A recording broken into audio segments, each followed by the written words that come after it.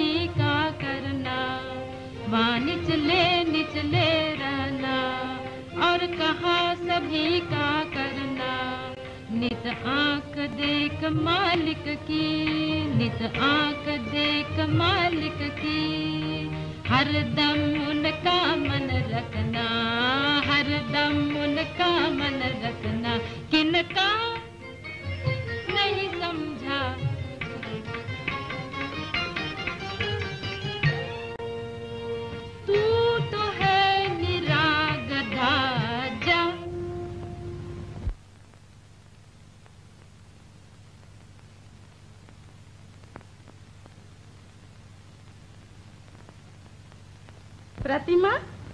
हमें मालूम है किसका है। अजय का है ना? देखें वाह आप भी कभी अपने पति महाशय का खत हमें दिखाती है? ओहो तो अजय तुम्हारे पति हो भी गए? होने वाले तो हैं। अरे वाह। अजय मैं मरना नहीं चाहता। नहीं नहीं। तुम इतने बड़े डॉक्टर हो अजय। क्या मुझे बचा नहीं सकते? किसी तरह तुम शहर चल सकते तो शहर? गाँव को छोड़कर अपने गरीब भाइयों को छोड़कर नहीं अजय नहीं। प्रेम इन लोगों के पीछे तुम अपनी तंदुरुस्ती खो बैठे और उन्होंने कदम कदम पर तुम्हारा रास्ता काटा। इन्होंने नहीं अजय बल्कि इनकी नादानी ने फिर भी मुझे विश्वास था कि एक दिन ऐसा ज़रूर आएगा जबकि ये लोग असलियत को समझ जाएँगे।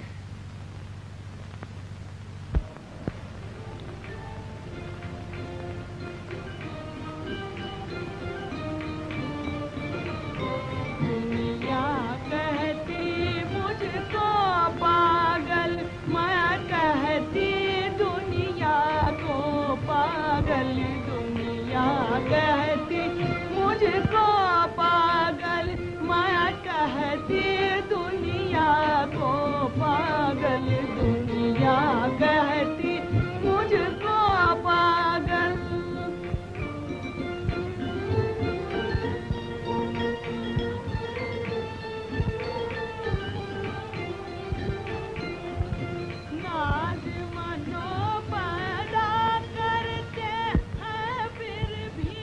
पगली का गाना जारी है। गाँव वाले इसे पागल समझते हैं। लेकिन बस इसी ने मेरे मरम को समझा। और मेरा साथ दिया। मुझको पागल दुनिया कहती मुझको पागल माया कहती दुनिया को पागल दुनिया कहती मुझको ये मेरी आँखों के सामने। अंधेरा सा क्यों होता जाता है?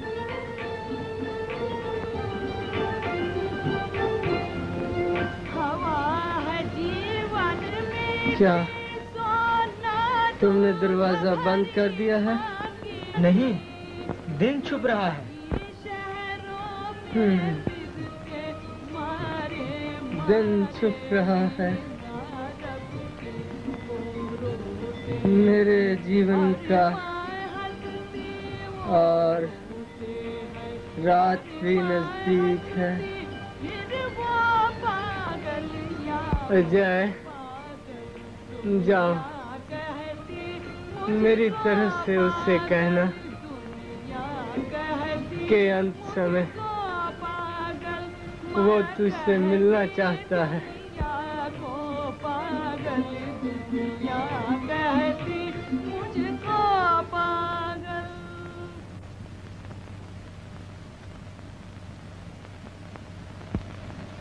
काश कुछ दिन और ज़िंदा रहता।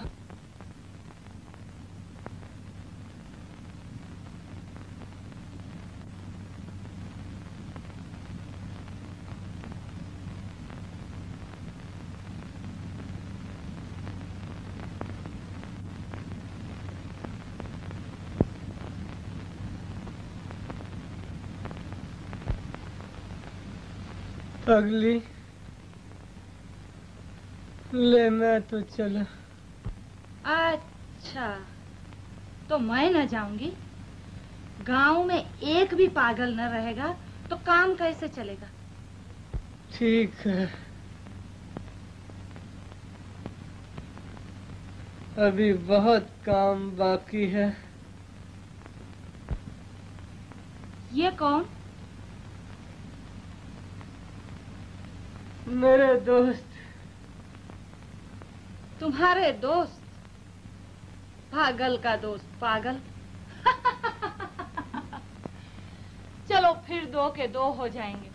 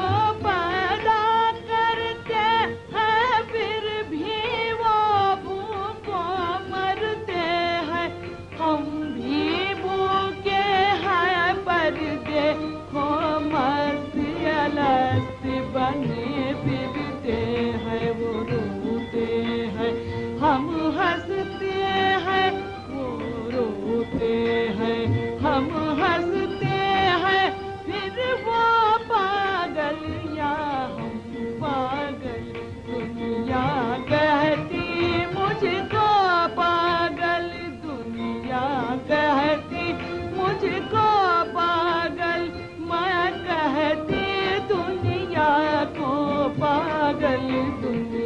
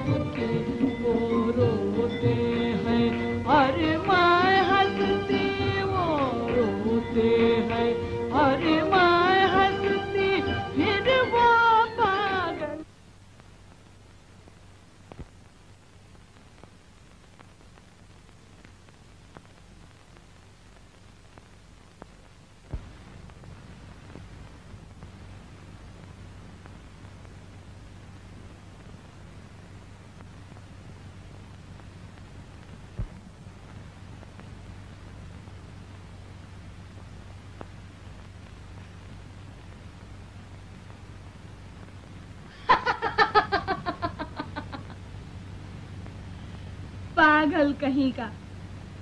दूसरों को जिलाने के लिए आप मर गया।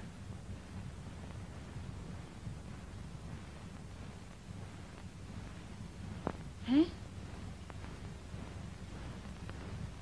पर गुरु और राजा तो कभी मरते ही नहीं। ये मेरा गुरु था।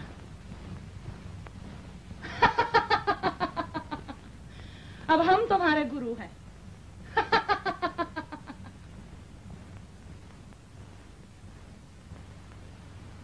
बोलो पागल बनोगे माँ की सेवा करोगे?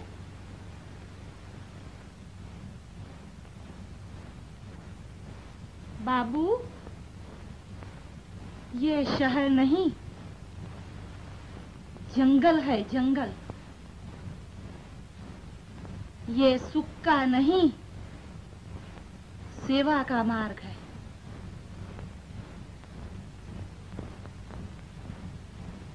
यहाँ कांटों पर चलना होगा। पत्थरों पर सोना होगा। भूख लगने पर हृदय के टुकड़े खाने होंगे।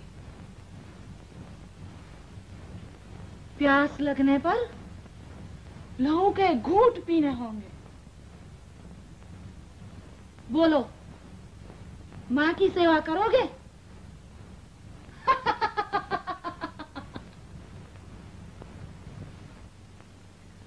अजी हमारी बात और थी। हमारी मोहब्बत तो विवाह के बाद शुरू हुई थी। जी, हमारी पहले ही हो गई। और बाद तक रहेगी? हम्म देखें किसकी मोहब्बत ज़्यादा टिकती है, तुम्हारी या हमारी? हमारी मोहब्बत तो अंत तक निभेगी। तुम आ गए? अच्छी बात है। तैयार हो? हाँ। तुमने सब कुछ त्याग दिया। मोह छोड़ दिया। सबसे नाता तोड़ लिया। प्रतिमा से भी जिससे तुम्हारा मन लगा था और ब्याह होने वाला था।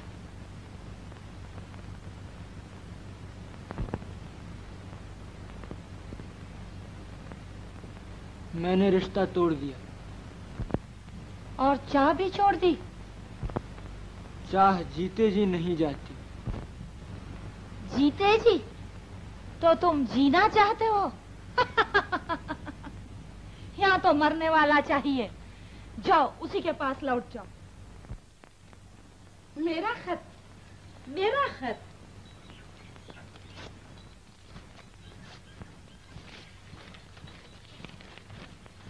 उनका है। अरे उनका है।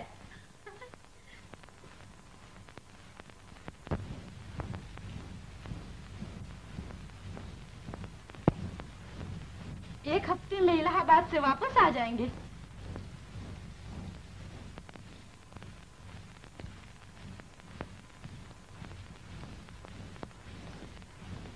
लेकिन वो अब ना आएँगे।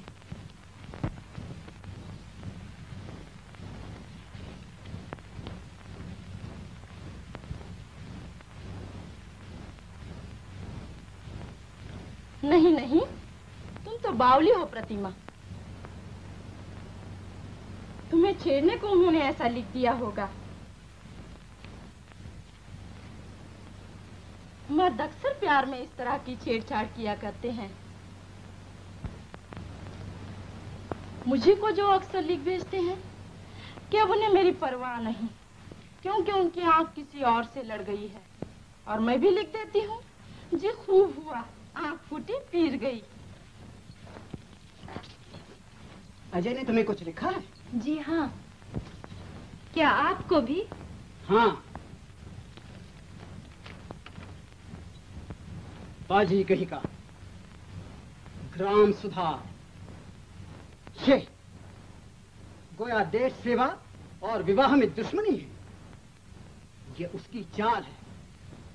दरअसल वो किसी औरत के जाल में फंस गया है और इस बहाने से रिश्ता तोड़ना चाहता है। नहीं पिताजी बहाना नहीं। सच है। वो दरअसल गाँव के कठिन जीवन से मुझे बचाना चाहते हैं। तुम नहीं जानती? जानती हूँ पिताजी। वो मुझे कभी धोखा न देंगे।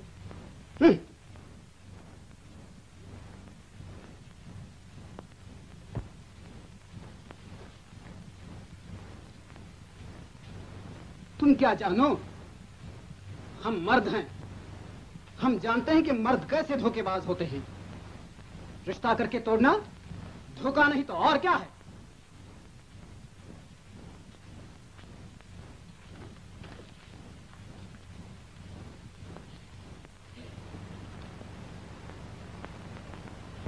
इस मार्ग से लौटा नहीं जाता। यह सच है कि मैं प्रतिमा से प्रेम करता हूँ। और उसे नहीं भूल सकता। लेकिन यह भी सच है कि मैं गाँव माता के चरणों में जीवन अर्पण करने की सच्ची चाह लेकर आया हूँ और कदम पीछे न हटाऊँगा। अच्छा तो आओ, देखें।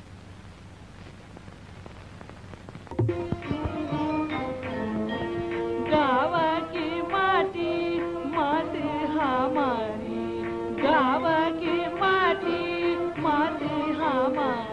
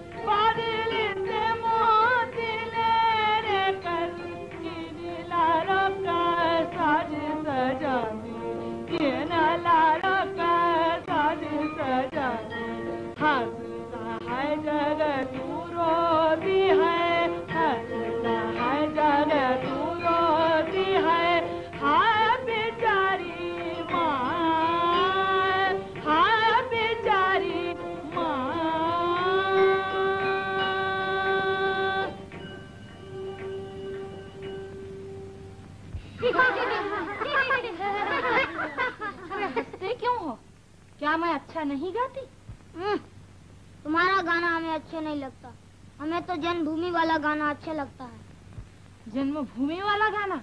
तुमने जन्मभूमि को देखा भी है? हाँ हाँ देखा क्या नहीं? अजी बस देख लिया।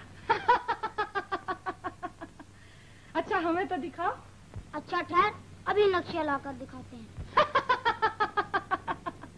तुम तो नक्शे में दिखाओगे। हम तो बगैर नक्शे ही का दिखा सकते हैं। बगैर नक्शे के दिखाएगी पगली। दिखाता ये देखो। ये गाँव ये गाँव ही तो हमारी माँ है बेटा। पगली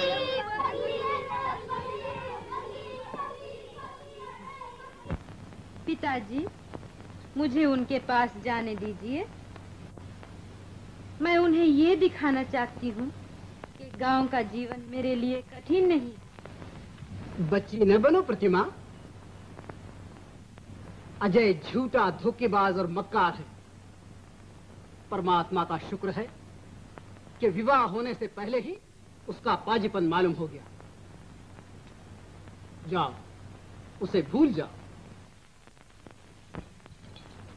पिताजी, आप उनके साथ अन्याय कर रहे हैं।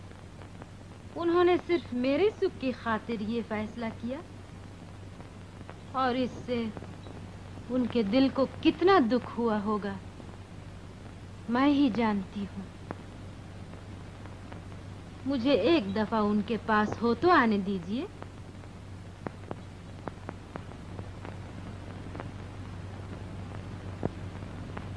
तुम ना मानोगी। अच्छी बात है। तो चलो मैं तुम्हें वहाँ ले चलता हूँ। जब अपनी आँखों से देखोगी तब तुम्हारी अकल ठिकाने आएगी। सुना इन पंडित महाशय का घर भरने से कोई फ़ायदा नहीं। अपने बच्चों के खाने पीने में ये पैसा लगाओ। अब महाजन से कर्ज लेने की ज़रूरत नहीं। तुम्हारा किसान बैंक मौजूद है। अच्छा अच्छा।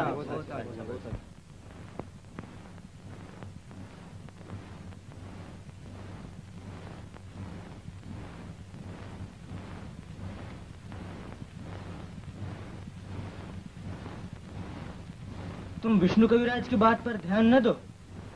इस इंजेक्शन से तुम्हें ज़रूर फ़ायदा होगा। जमींदार साहब इनके दादा की उम्र के हैं। इनका विवाह उनसे हरगिज न कीजिए। वो आपको मजबूर नहीं कर सकते।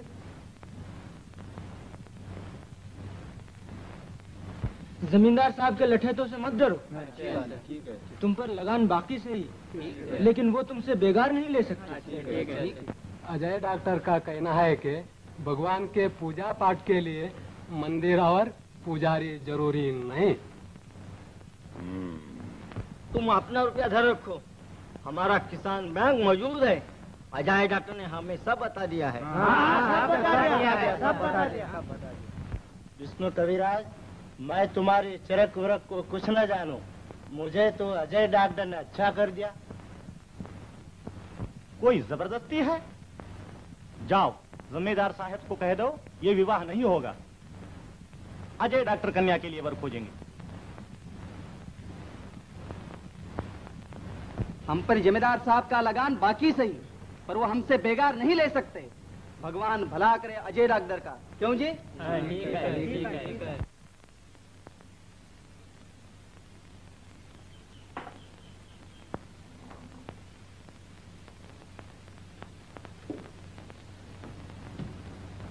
सरकार सलाम। सरकार घास काटने में कोई नहीं आता। अजय डॉक्टर ने सबको बहका दिया। क्या? तुम माल खा खा कर मस्त हो रहे हो, नमक हरामो। तुमसे बेगारी नहीं लाए जाते। जाओ, जो आने से इनकार करे, उसे मार मार कर बिछा दो।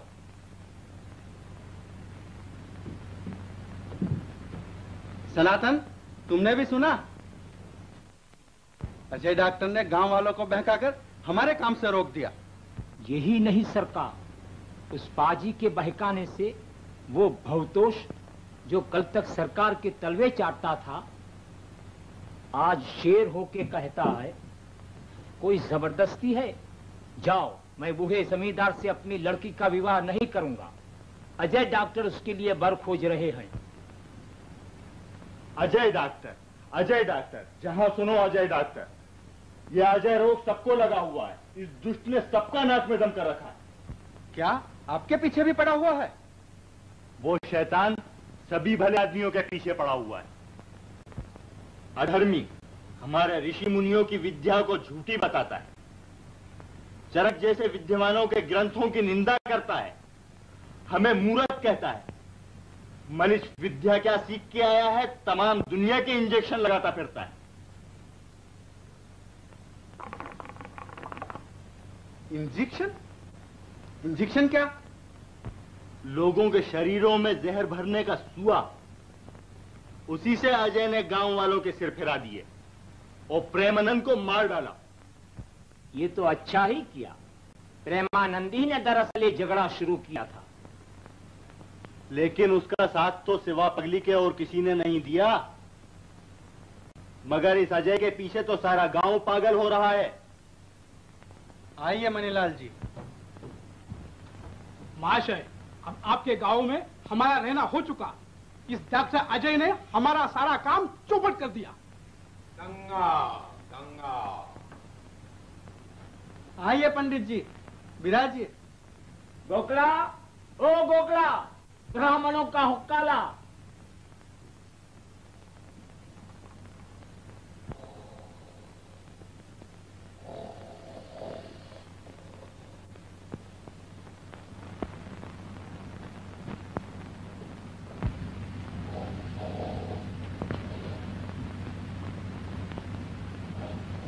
क्यों बे पाजी तुझे सोने के लिए तनखा मिलती है? नहीं सरकार खतो हुई। उठ ब्राह्मणों का हुक्का ला ब्राह्मणों का सुना? गई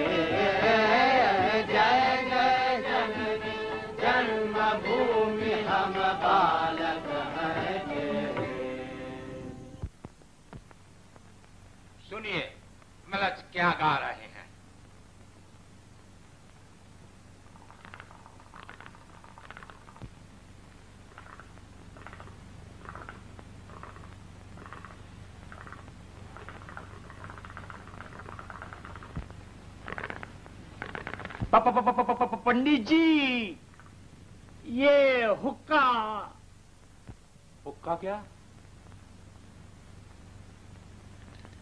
अरे हाय हाय हमारा धर्म नष्ट हो गया काश्तों का हुक्का पी लिया गोकला वो गोकला के बच्चे अधर्म हो गया अधर्म हो गया कायथों का हुक्का बामन ने पी लिया शुक्र है परमात्मा का मैं हुक्का नहीं पीता मुझे बुलाया सरकार अबे किसका हुक्का पंडित जी को लाकर दे दिया?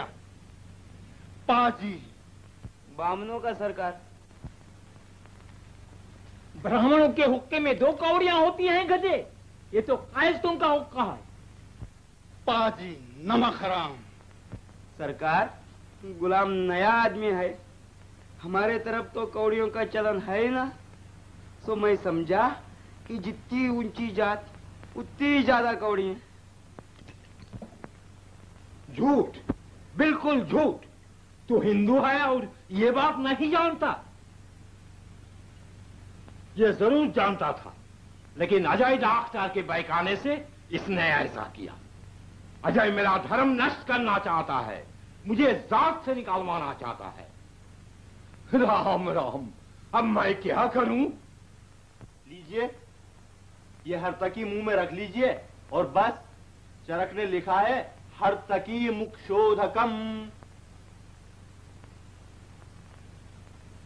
बड़े अफसोस की बात है कि हमारे यहाँ एक पंडित को कायसो का होका पिलाया जाए।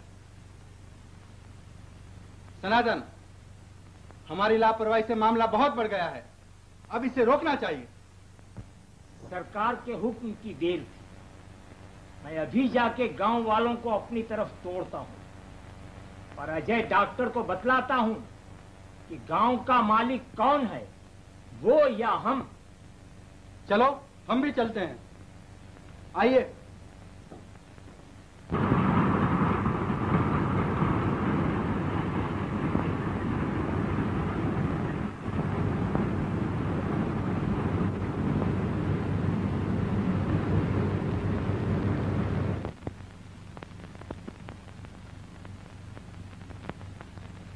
अरे यहाँ मोटर वोटर कुछ नहीं है। यहाँ तो सब बैलगाड़ियाँ हैं साहब। तो बस फैसला हुआ। चलो पहली गाड़ी से लौट चले। मैं बैलगाड़ी पर हरगिज न चढ़ूँगा। शी जरा सोचो तो। यहाँ तक पहुँचकर अब कैसे वापस जा सकते हैं? चलिए पैदल ही चले। पैदल? गाँव कितनी दूर है जी? हम लोग वहाँ तक चल सकेंगे। गाँव तो एक कोस है साहब पर रास्ता बड़ी खराब है। तुम न चल पाओगे साहब। तो हम चलेंगे भी नहीं। करुणा किसी तरह पिताजी को समझाओ। चाचा जी हम कभी बैलगाड़ी पर नहीं चढ़े। आइए देखें कैसा होता है। क्या अजब है मोटर ही की तरह हो या उससे भी अच्छा? अच्छा होता तो शहर में मोटरों की जगह छकड़े चलते। मैं बैलगाड़ी में हरगिज न जाऊँगा। अच्छी बात है। तो आप यहीं स्टेशन पर आराम कीजिए मैं प्रतिमा को लेकर जाती हूँ। और तुम्हें लेकर कौन जाएगा? तुम खो गई तो तुम्हारे ससुराल वालों को मैं क्या जवाब दूँगा? तब तो आपको भी चलना पड़ेगा। लेकिन हम तुम्हें ये बता देना चाहते हैं। पहले बैलगाड़ी में बैठ जाइए तब बताइए।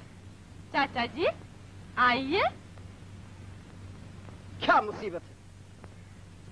अच्छा चलो।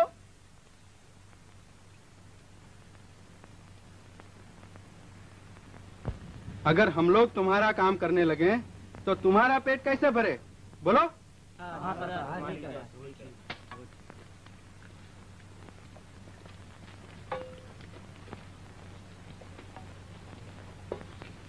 ये लोग सेवा सेवा चिल्लाते फिरते हैं। जानते भी हो इस सेवा की आड़ में क्या शिकार खिला जा रहा है?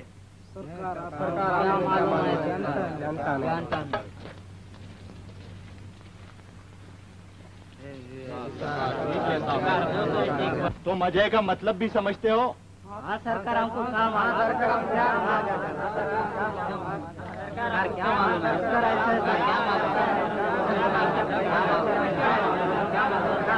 अब तो अजय डॉक्टर की चाल समझ में आ गई। हाँ सरकार हम समझ में आए। सरकार का बात समझ में और इस तरह वो हमारे धर्म को नष्ट करना चाहता है। सुना? हाँ पंडित जी।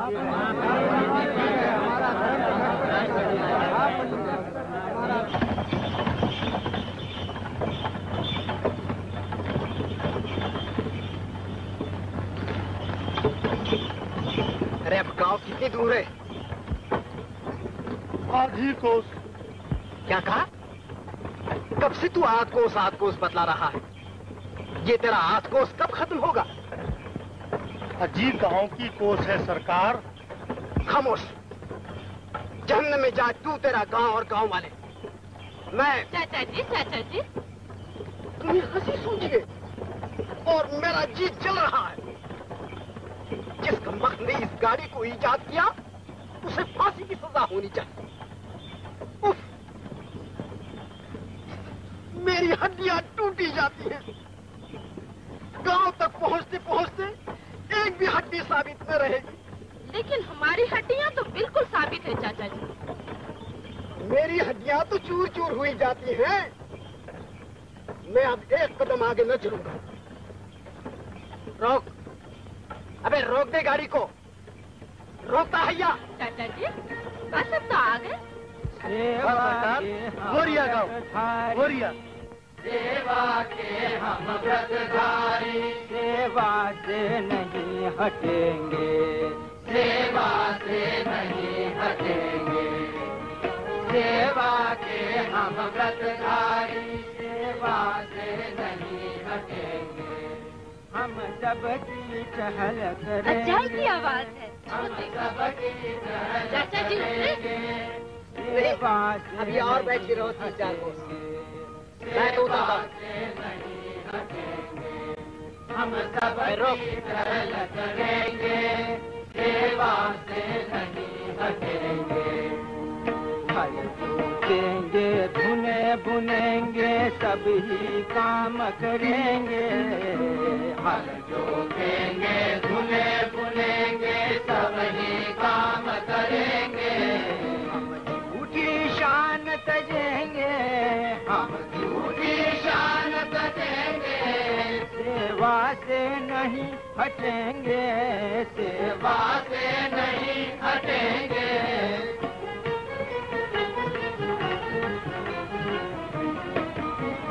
दल दल जंगल साफ़ करेंगे गड्ढे पोखर ताल भरेंगे। दल दल जंगल साफ़ करेंगे गड्ढे पोखर ताल भरेंगे। जन्मभूमि से रोग शोक को हम। निर्मूल अब तो आपको करेंगे। विश्वास हुआ कि अजय हमें धोखा नहीं दे रहे। थे रोग शोक को हम निर्मूल करेंगे। माता के लाल बनेंगे। माता के लाल बनेंगे। सेवा से नहीं हटेंगे। सेवा से नहीं हटेंगे।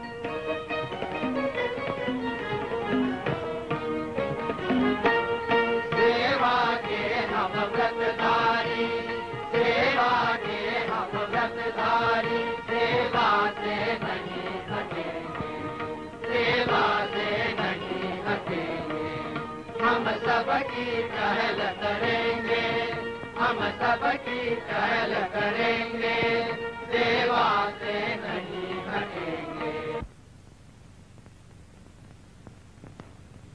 डॉक्टर साहब ये गड्ढे पोखर क्यों भरे जा रहे हैं? हम पानी कहाँ से पिएँगे भाई ये पानी पीने के काबिल नहीं। बड़ी डिग्गी का पानी अच्छा है वहाँ से लो। बड़ी डिग्गी हमारी है वहाँ से पानी नहीं मिलेगा। जमींदार साहब ये तो धर्म का काम है। यह तो धर्म का काम है। इन गरीबों का धर्म नष्ट करके इन्हें दीन दुनिया से खो दिया। अब धर्म अधर्म बखानते हो। किसान बैंक खोल के गरीबों को लूट लिया। अब धर्मात्मा बनते हो। इंजेक्शन दे दे के लोगों के सिर फिरा दिए। अब जमींदार साहब को नसीहत करने आए हो। सुनो जी तुम्हें सब हरकतें बंद करनी होंगी। आज ही अभी हम अपना काम कभी बंद न करेंगे। आप जो चाहें सो कर लें। अच्छा? ठहरो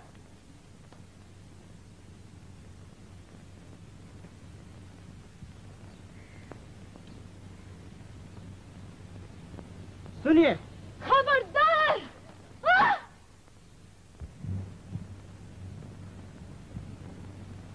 चरक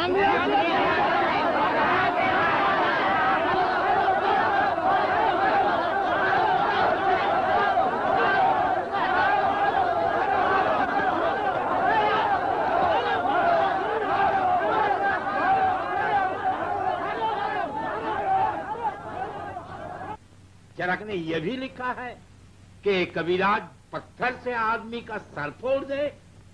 कविराज जी आपने दरअसल ये बहुत बुरा किया। अगर लड़की को कुछ हो गया तो हम सब फंसेंगे। हे माँ काली अब तू ही रक्षक है। सनातन? ज़्यादा चोट नहीं आई सरकार। अब वो होश में है। लेकिन पुलिस में तो रपट नहीं लिखाई। नहीं सरकार लड़की का बाप तो चाहता था। लेकिन मैंने अजय को डरा धमका कर सीधा कर लिया। मैंने कहा बिला इजाज़त हमारी मिल्कियत पर चढ़ाए हम तुम पर दावा कर देंगे। बहुत होशियारी की। सनातन की सोच अच्छी है। लेकिन तकदीर बहुत खराब है सरकार। खैर अब अजय अपने काम में हमारी मदद चाहता है। ठहरो बच्चा की कैसी मदद करते हैं?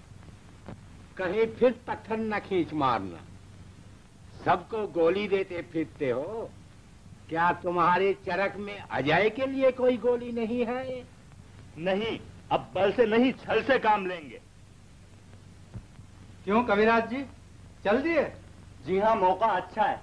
अजय तो इस वक्त अपनी मुसीबत में फंसा हुआ है। मुमकिन है एक आध रोगी मेरे हाथ लग जाए। मुझे भी आज्ञा हो पूजा करनी है। चलिए मैं भी चलता हूँ।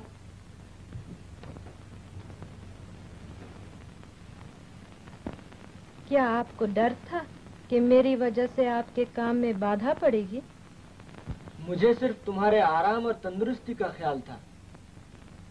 स्त्री से बढ़कर पति का और कोई जीवन साथी नहीं।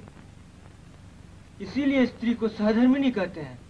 तो क्या तुम्हें डर था कि मेरी लड़की तुम्हारी सच्ची सहधर्मिणी न हो सकेगी? कभी नहीं। तब तो ठीक है। मैं अभी जाके विवाह का इंतज़ाम करता हूँ। लेकिन मैं विवाह न करने का अहद कर चुका हूँ। और दूसरों से भी वचन ले चुका हूँ। अब किस तरह? अज़ीज़ जबानी जमा खर्च से क्या होता है? उस वक्त गलती कर बैठे अब संभल गए। नहीं पिताजी प्रण तोड़ना पाप होगा। मैं अपने कारण ऐसा न होने दूँगी। अजय औरों की तरह मुझे भी इस पवित्र काम में अपना साथी बना लो।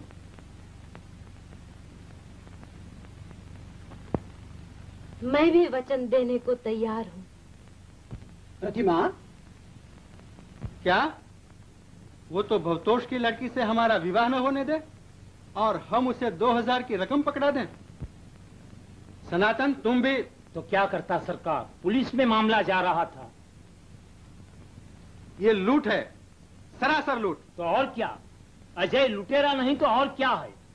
लेकिन सरकार मैं भी शरीफों का गुलाम हूँ तो बाजियों का चचा। मेरा नाम सनातन भद्र नहीं जो सदा के लिए उसका मुँह काला ना कर दूँ और और? उसकी छोकरी से आपका विवाह ना करा दूँ। उसकी छोकरी? जी हाँ वही जिसका सर फटा था। वो अजय की मंगेतर है। माला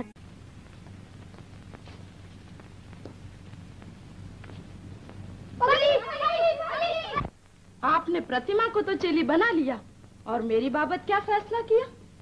आप विवाहिता हैं। अब विवाह न करने की प्रतिज्ञा कैसे कर सकती हैं? अच्छा तो अगर मैं ये प्रण करूँ कि अब आइंदा विवाह न करूँगी तो?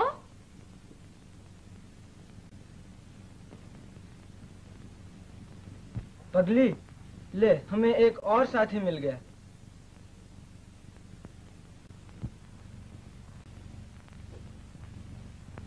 अच्छा तो तू भी पगली हो गई। तरकीब सुनिए पहले तो अजय को फांसा जाए। वो इस तरह कि जो दो हज़ार रुपया देने के लिए उससे वादा किया है वो तो अभी दे देना चाहिए ताकि उससे हम पर विश्वास हो जाए। इसके बाद उसको आपसे मिलने के लिए यहाँ बुलाया जाए। और आप दो हज़ार और क्या? दो हज़ार और? ये सब तो वापस मिल जाएगा सरकार।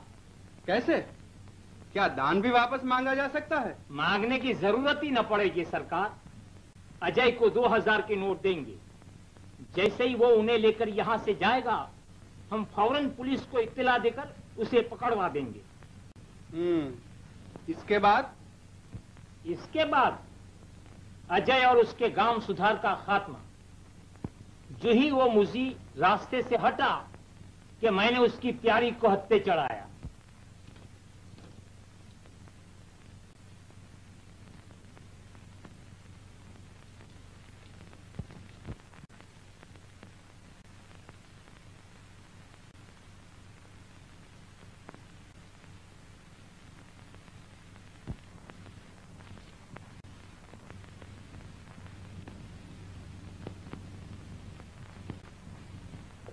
अरे पंडित जी और कबीराज जी, आप यहाँ हैं। मैं तो समझता था कि आप लोग जजमानों और रोगियों की घात में कहीं घूम रहे होंगे।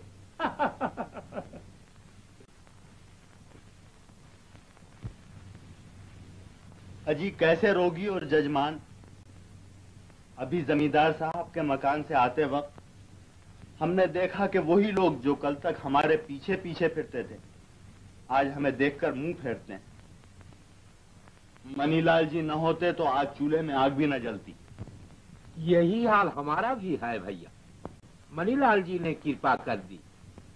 नहीं तो मुझे यही चिंता खाए जाती थी कि खाली हाथ पंडित आइन के सामने कैसे जाऊँगा। हाँ जी उनके खाने पीने के दिन हैं। रोज फरमाइशें होती होंगी। आज मिठाई लाओ आज साड़ी आज झांझन है? लेकिन लाए कहाँ से? जब आपने भवतोष की लड़की से जमींदार साहब का विवाह तय किया था तो हमने सोचा था कि चलो, विवाह में जो कुछ मिलेगा, उससे पंडित आइन का चाव पूरा कर देंगे। लेकिन वो भी न हुआ। हम भी आस लगाए बैठे थे कि विवाह के लिए बहुतोष ज़रूर रुपया लेगा और हम करारा सूद मारेंगे। मगर हमारे हाथ भी दोनों तरफ़ से कुछ न कुछ ज़रूर लगता। लेकिन घबराओ मत। जमींदार साहब का विवाह ज़रूर होगा। किसके साथ? कब? हाँ जी कब? किसके साथ? सब्र करो सब मालूम हो जाएगा। मुझ पर भरोसा रखो। ज़रूर। तुम्हारे सिवा और हमारा है कौन? तुम ना होते तो ब्राह्मणों और पंडितों का गाँव में रहना कठिन था। और क्या? सनातन जी न होते तो हम लोगों का भी वही हाल होता। जो दूसरे गाँव में ब्राह्मणों वेदों और महाजनों का है वहाँ किसान तो किसान जमींदार लोग भी नई बातों में पढ़कर पुरानी बातों को छोड़ रहे हैं। अभी उस दिन जब मैं सुनार गाँव गया तो मुझे मालूम हुआ कि खुद जिम्मेदार ने अपने रुपए से वहाँ एक अस्पताल बनवाया है और उसमें अजय डॉक्टर जैसा एक छोकरा रख छोड़ा है जो इसी की तरह गाँव भर के इंजेक्शन लगाता फिरता है। और वहाँ तुमने किसान बंग भी देखा? मुझे अच्छी तरह मालूम है कि उस बम में भी जमींदारी का रुपया लगा हुआ है। और ब्राह्मणों का क्या हाल है भैया? वही जो वेदों और महाजनों का है? लोगों से कहा जाता है कि ब्याहों और शराधों में रुपया मत फूको, बल्कि बैलों को खिलाओ नए नए खाद खरीदो। कलयुग है, घोर कलयुग। खेती खाद से होती है। या देवताओं के आशीर्वाद से, बैलों को खिलाने से, या ब्राह्मणों को जिमाने से। आप लोग चिंता न कीजिए। जब तक सनातन के दम में दम है, तब तक जमींदार साहब पुरानी लीक से न हटने पाएँगे। और सदा की तरह ब्राह्मणों को दक्षिणा वैदों को फ़ीस और महाजनों को सूद मिलता रहेगा। धन्य हो धन्य हो। हमें तो आप ही का आसरा है। आप न होते तो अजय डॉक्टर के आने से बहुत पहले ही जमींदार साहब उस प्रेमानंद और पगली के चुंगल में फंस जाते। यही तो मुझे हरदम चौकन्ना रहना पड़ता है। मैं जमींदार साहब को बड़े शहरों में नहीं जाने देता। अखबारों और मिलने वालों से उन्हें दूर रखता हूँ। इस डर से कि कहीं उन्हें भी ये हवा ना लग जाए। ठीक है सनातन जी। जब तक जमींदार साहब और गाँव वाले इस हवा से बचे रहेंगे तब तक अपने बाप दादा के धर्म कर्म में उनका विश्वास बना रहेगा। आप जानते हैं पंडित जी की और हमारी रोटी तो इसी विश्वास के सहारे चलती है। और क्या? जमींदारों और किसानों के पास तो जमीनें मौजूद हैं। पुरानी बातों से उनका विश्वास उठ भी जाएगा तो भी वो भूखे न मरेंगे। लेकिन हम ब्राह्मणों की रोजी तो चली जाएगी और हम वेदों की भी तो। चरक से लोगों का विश्वास जाता रहेगा तो कोई हमें दो कौड़ी को भी न पूछेगा। और मेरा क्या हाल होगा ये भी सोचा अगर जमींदार साहब अपनी जमींदारी का इंतज़ाम खुद करने लगे और किसानों के दिल से मैनेजर साहब का डर जाता रहे तो? भगवान ना करे। घबराओ मत। इस गाँव में कुछ ना होगा। लेकिन हम लोगों को हर बात में एक दूसरे का साथ देना चाहिए। मैनेजर साहब हम आपके हैं और सदा आप ही के रहेंगे। आप खातिर जमा रखिए। अच्छा अब आज्ञा हो। पंडिताइन घबरा रही होगी। मैं भी बाज़ार से कुछ सौदा पत्ता लेके घर जाता हूँ।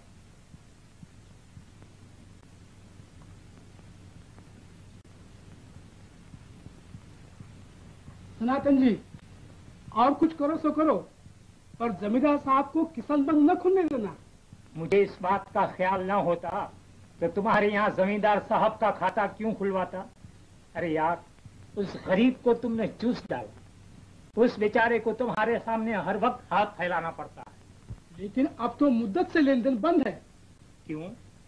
पिछले ही हफ़्ते जो रुपया लिया था। खैर लाओ, जमींदार साहब के नाम दो हज़ार रुपया उधार दो।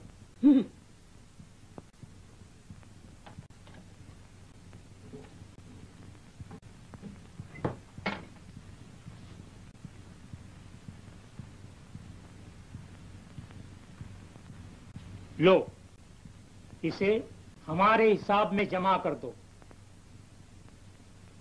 जमींदार साहब ने कहा था कि मनी लाल से दो हज़ार रुपए लेकर अजय को दे देना ताकि वो मारपीट के मामले को पुलिस में न ले जाए। ये वही रुपए हैं। समझे? अब तो खुश हो। आज किसी अच्छे का मुँह देखकर उठे थे। उधर भवानंद और विष्णु सूद पर रुपये ले गए इधर ये सौदा भी अच्छा हो गया। सनातन की जान को दुआ दो। लाओ दो हज़ार और लाओ। वही वाह जय गोपाल की जय गोपाल की। लेकिन ये रकम नोटों में चाहिए। बड़े नोटों में समझे। अब जितनी जल्दी हो सके जमींदार के पास पहुँचा दो। जमींदार साहब के पास? बड़े नोटों की ऐसी क्या ज़रूरत आन पड़ी? अब चू चेरा मत करो फ़ौरन भेज दो। सुना? फ़िक्र न करो। जमींदार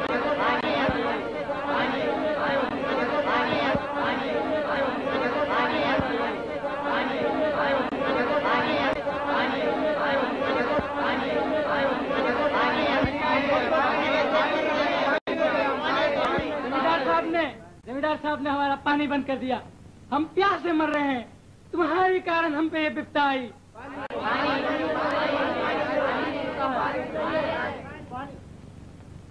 पानी मिलेगा। घबराओ मत। इसमें डॉक्टर साहब का कोई कसूर नहीं, बल्कि गलती से हुक्म निकल गया था। बड़ी डिग्गी पर से रोक उठा ली गई। जाओ, जितना चाहो पानी लो। चलो।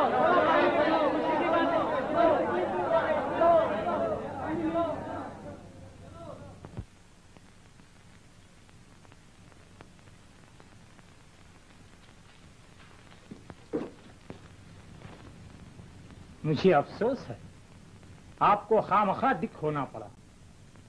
आपसे मिलने के बाद मैंने जमींदार साहब से अर्ज़ की कि आपकी दरखास्त है कि डिग्गी पर से पहरा उठा लिया जाए। तो उन्होंने फरमाया कि उनकी खातिर मुझे मंजूर है और फ़ौरन हुक्म दे दिया।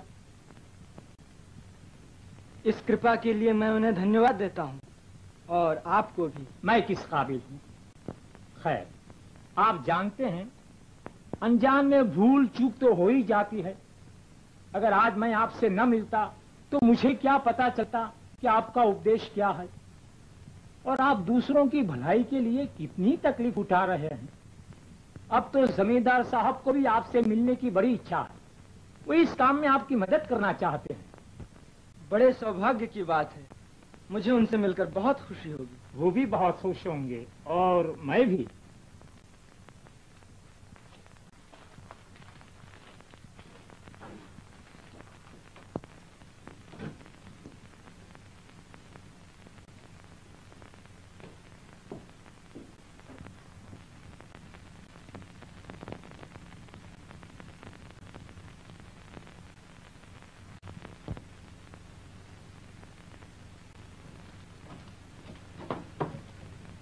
बस आता ही होगा सरकार।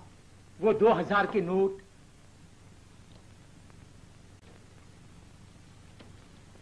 ये है। लाइए, नंबर लिख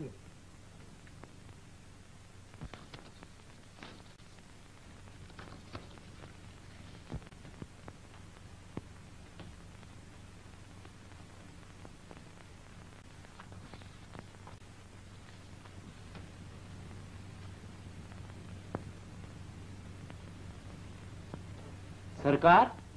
अजय डॉक्टर आए हैं। बुला लाओ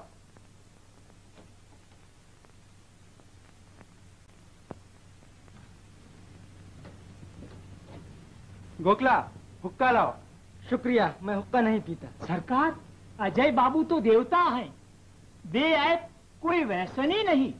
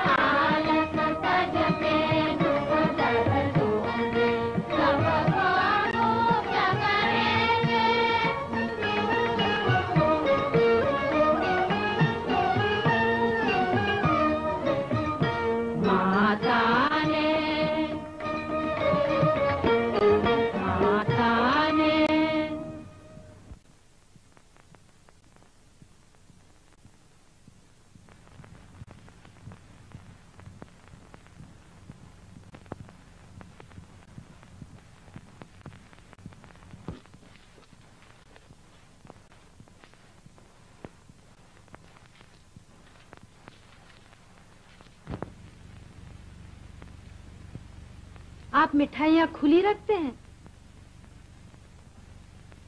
देखिए इन मक्खियों को। इन्हीं से हैजा फैलता है। मक्खियों से हैजा? जी हाँ हमें रुपए की सख्त ज़रूरत है। गाँव में हैजे का बहुत डर है। इसलिए हम एक अस्पताल बनाना चाहते हैं। समझे? अब इस माल को न बेची अजी पर ना बेचूँगा तो खाऊँगा क्या? अच्छा। ये लीजिए।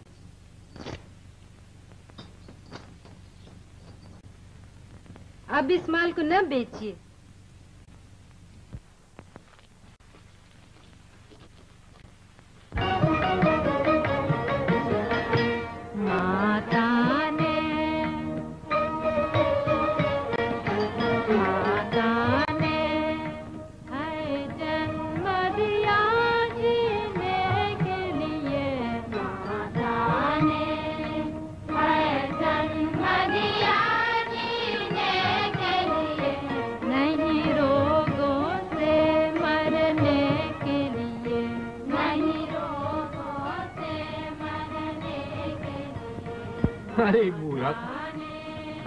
हैजे का क्या संबंध?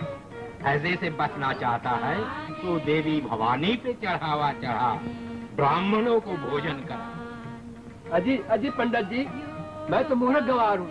और वो बहन जी है ना उन्होंने समझाया कि घोर कल ब्राह्मण का वाक्य झूठा और उस कल की छोकरी का कहना सच्चा।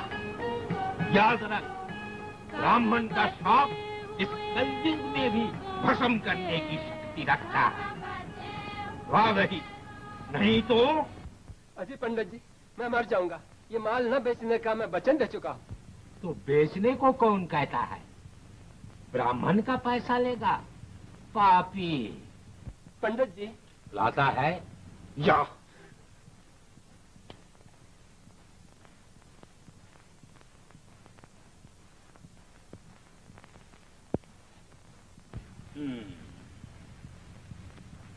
ये दिया है तो ये भी ला ये भी ये भी ये भी।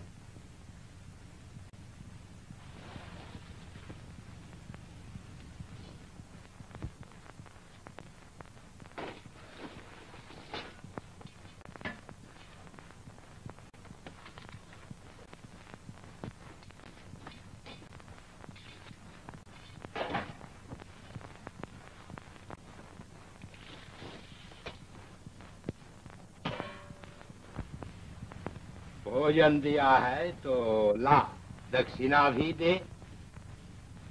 दक्षिणा पंडित जी? हाँ दक्षिणा। दक्षिणा के बिना ब्राह्मण भोजन का पुण्य तुझे कैसे मिलेगा? ला।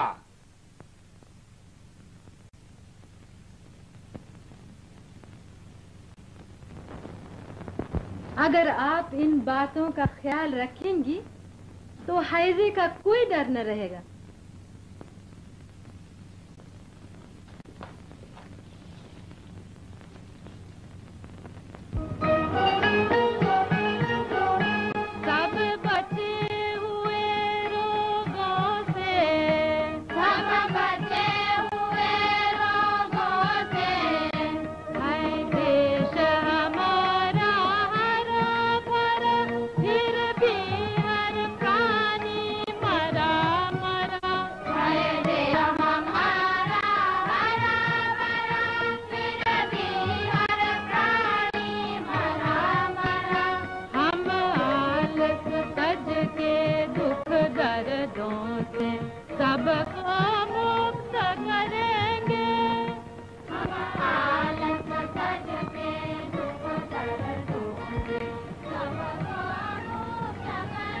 अजी अजी कहाँ गई? देखो फलार के लिए क्या क्या लाया हूँ। अरे ये कहाँ से ले आए? ये रामा की दुकान का माल है। रामा की दुकान का समझी? फेंको इसे फेंको। उसके बराबर के घर में तो हैजा हो रहा है और तुम? मालूम होता है वो शैतान तुम्हारे कान में भी मंत्र फूक गए। तुम उन्हें जो चाहो सो कहो। मेरे लेखे में तो वो देवी हैं वो पढ़ी लिखी हैं सब जाने हैं। मैं तो उनकी बात मानूँगी। तुम मेरी बात मानोगी। मैं पढ़ा लिखा नहीं हूँ मैं भी तो देखूँ ऐसा कैसे होता है। मैं ज़रूर इन्हें खाऊँगा। खाओ तो कैसे खाते हो?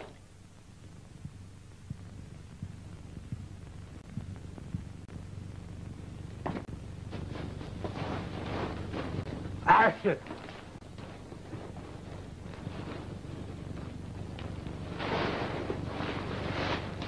इस मेहरबानी के लिए मैं आपको धन्यवाद देता हूँ और जाकर ये खुशखबरी गाँव वालों को सुनाता हूँ।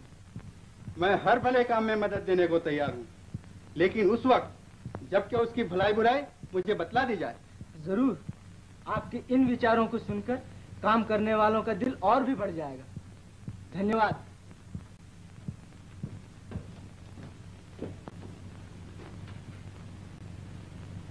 वाह सरकार क्या उल्लू बनाया है? बच्चा जी दो हज़ार के नोट अपनी जेब में ले गए। सनातन, अभी तो आधी ही बाजी जीती है। जिस दिन वो लड़की हाथ आ जाए, उस दिन समझो। सरकार, जब अजय जैसी मच्छी जाल में फंस गई तो उस छोकरी की क्या विसार अच्छा अब थाने जाकर अजय के खिलाफ चोरी की रपट लिखा दूँ। जाओ जल्दी करो। आइए पंडित जी। क्या बात है पंडित जी? बात क्या है महाशय आपके कल्याण के लिए कल व्रत रखा था। आज जब फलहार करने बैठे तो अजय के कारण रंग में भंग हो गया। कैसे? हमारे यजमानों को हमसे तोड़कर अजय को संतोष ना हुआ तो हमारी स्त्री को भी बहका दिया। हम्म।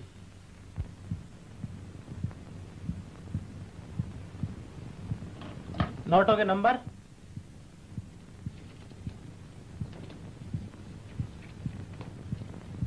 लीजिए।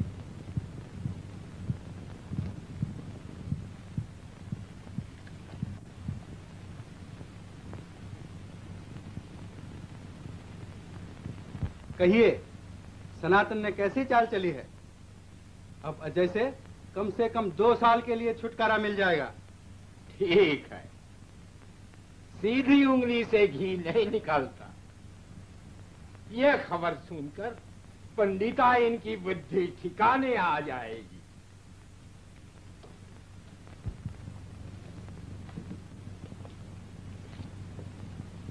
अच्छी बात है।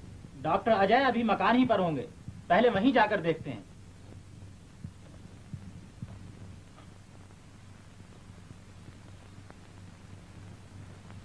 America Japan.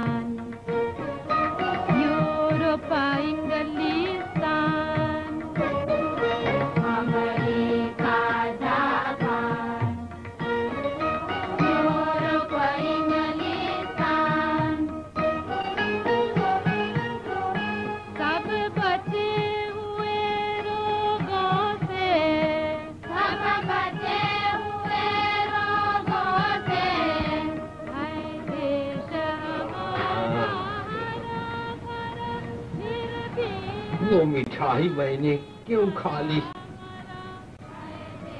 मेरा जी मचला रहा है। कहीं हैजा न हो जाए।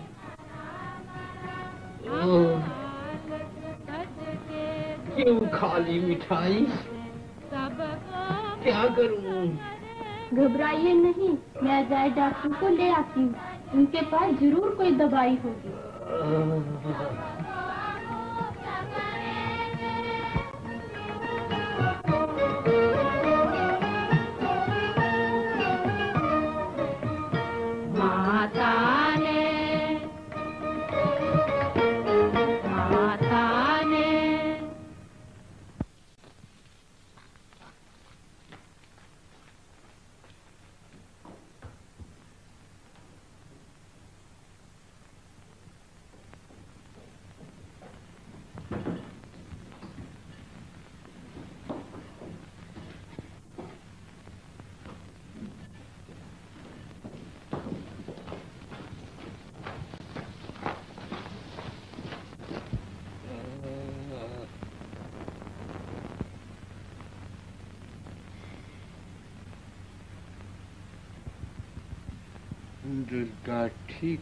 कहती थी। ये लोग पढ़े लिखे हैं। सब जानते हैं।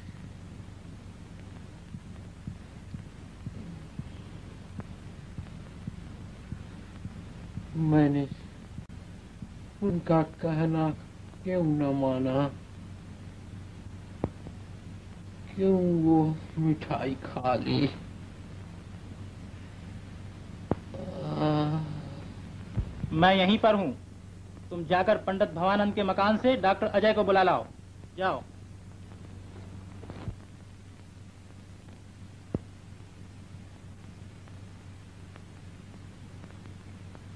घबराइए नहीं, अब ये अच्छे हो जाएँगे। पंडित जी, ओ पंडित जी, यहाँ अजय डॉक्टर आए हैं।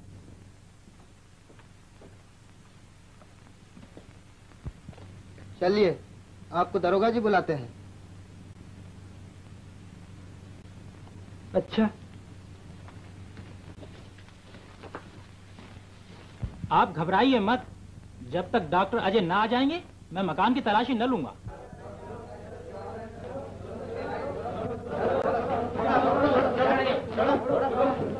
आज आप जिम्मेदार साहब के मकान पर गए थे? जी हाँ। मैं आपकी तलाशी लूँगा। और ज़रूरत हुई तो मकान की भी।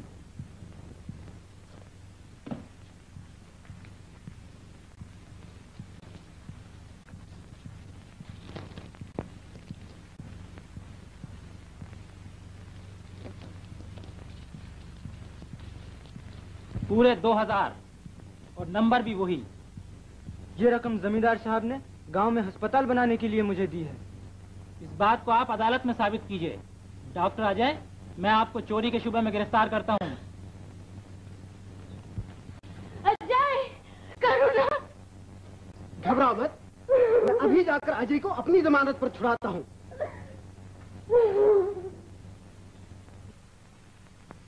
अजय डॉक्टर को फंसाने के लिए ये जाल बिछाया गया था। जमींदार साहब ने खुद मुझसे कहा है।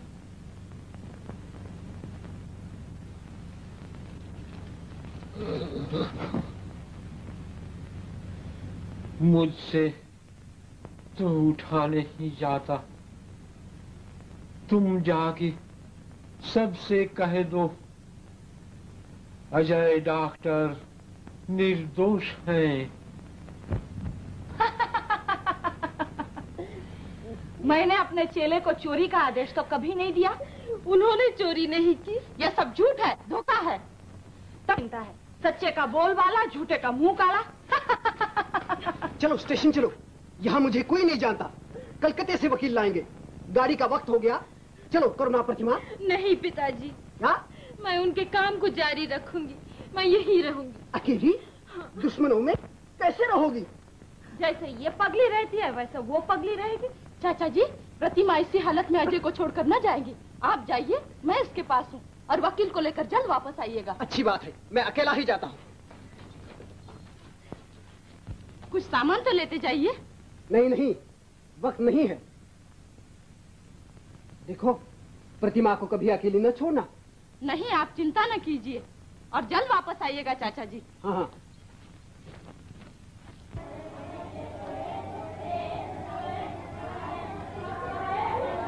भगवान मुझे शक्ति दे कि मैं अजय के काम को जारी रख सकूँ।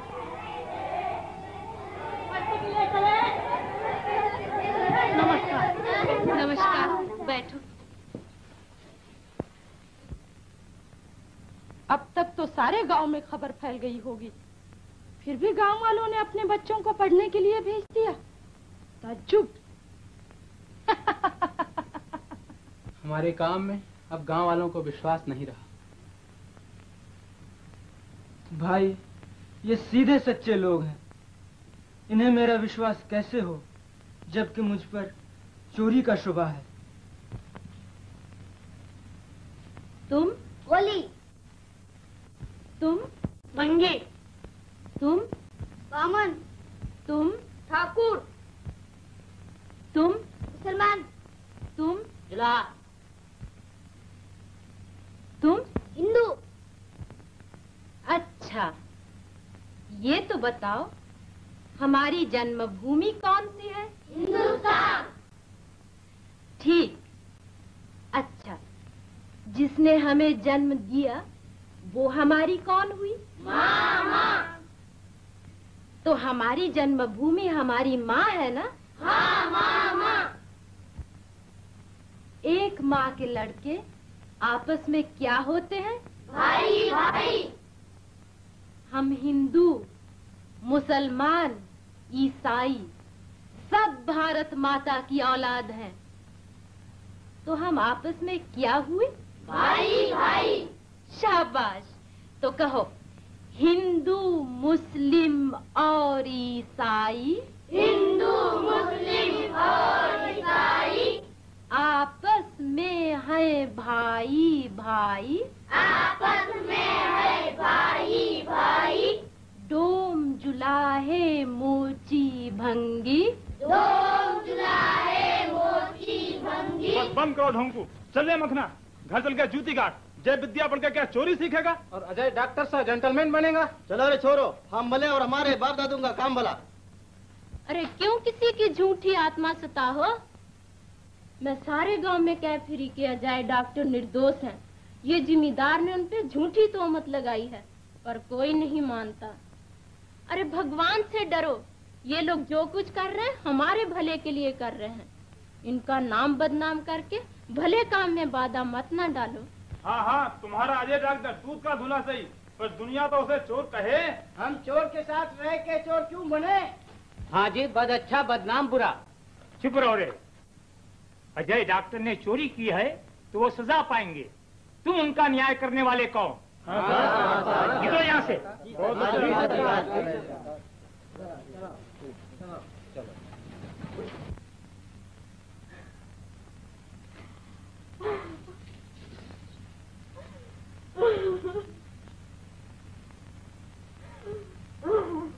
रोती है?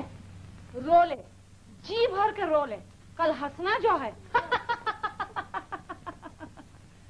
सच्चे का बोल वाला झूठे का मुँह काला। तुम ही अजय को बुलाने के लिए आए थे। और तुम ही ने जिम्मेदार साहब को बहकाया मैंने मेरा भगवान गवाह है कि इस मामले में मैं खुद जमींदार साहब की चाल का शिकार हूँ। तुम हंसती हो क्योंकि तुम्हें असलियत मालूम नहीं। जमींदार साहब को भी मालूम हो गया है कि मुझे तुम्हारे काम में विश्वास है और वो डरते हैं कि कहीं अजय की तरह मैं भी तुम्हारा साथी न बन जाऊँ। इसलिए इसलिए? इसलिए उन्होंने एक ही बार में दोनों को ठिकाने लगा दिया। उधर अजय के जेल जाने का सामान हो गया इधर मैं आपकी नज़रों में धोखेबाज साबित हो गया। तुम यकीन नहीं करती तुम्हारी मर्ज़ी। लेकिन मैं अपनी आत्मा की शांति के लिए उस पाप का जो मैंने जमींदार के हुक्म से अनजान में किया ज़रूर प्रायश्चित करूँगा। आप प्रायश्चित करेंगे? ज़रूर। मैं डॉक्टर साहब को छुड़ाकर आपके पास लाऊँगा। इसके लिए चाहे मुझे जेल ही क्यों न जाना पड़े। मैं जानता हूँ जमींदार और गाँव वाले मुझे कभी न बख्शेंगे। खैर मगर आप डॉक्टर साहब को लेकर गाँव से ज़रूर चली जाइएगा। लेकिन अजय तो यहाँ से कभी न जाएँगे।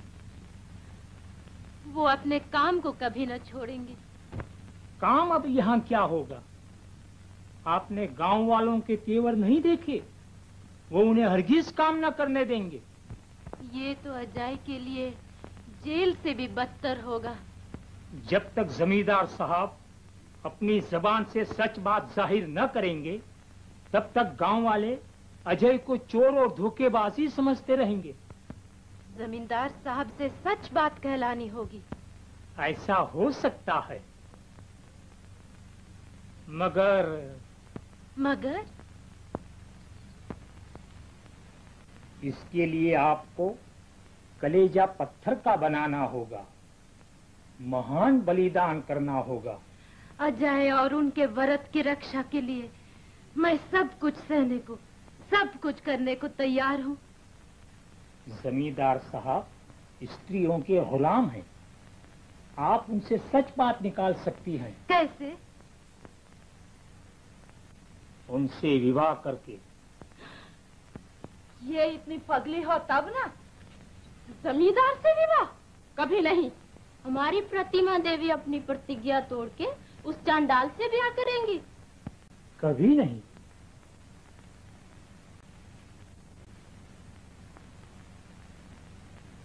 इसीलिए तो कहता हूँ, मैं डॉक्टर साहब को छुड़ा लाता हूँ। आप उन्हें यहाँ से ले जाइए। मैं जमींदार साहब से विवाह करूँगी।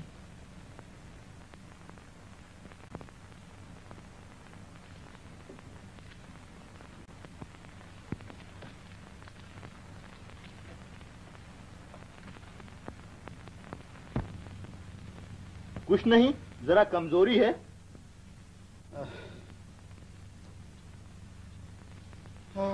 लीजिए ये गोली खा लीजिए। क्या कहूँ कविराज जी? चिंता पर चिंता। आफत पर आफत आ रही है। देखिए, पंडित जी भी मेरे खिलाफ हो गए। महाशय, वो तो बेपैंदी के लोटे हैं। अजय ने कहा, तुम्हें हैजा है? वो मान गए हाँ हैजा है। और हैजे का नाम नहीं। उन्हें तो यह भी विश्वास है कि अगर अजय ना होता तो उनकी जान भी ना बचती। लेकिन मैंने उनका क्या बिगाड़ा है? जो सबसे कहते फिरते हैं कि जमींदार ने अजय पर झूठा इल्ज़ाम लगाया। जमींदार ने अजय पर।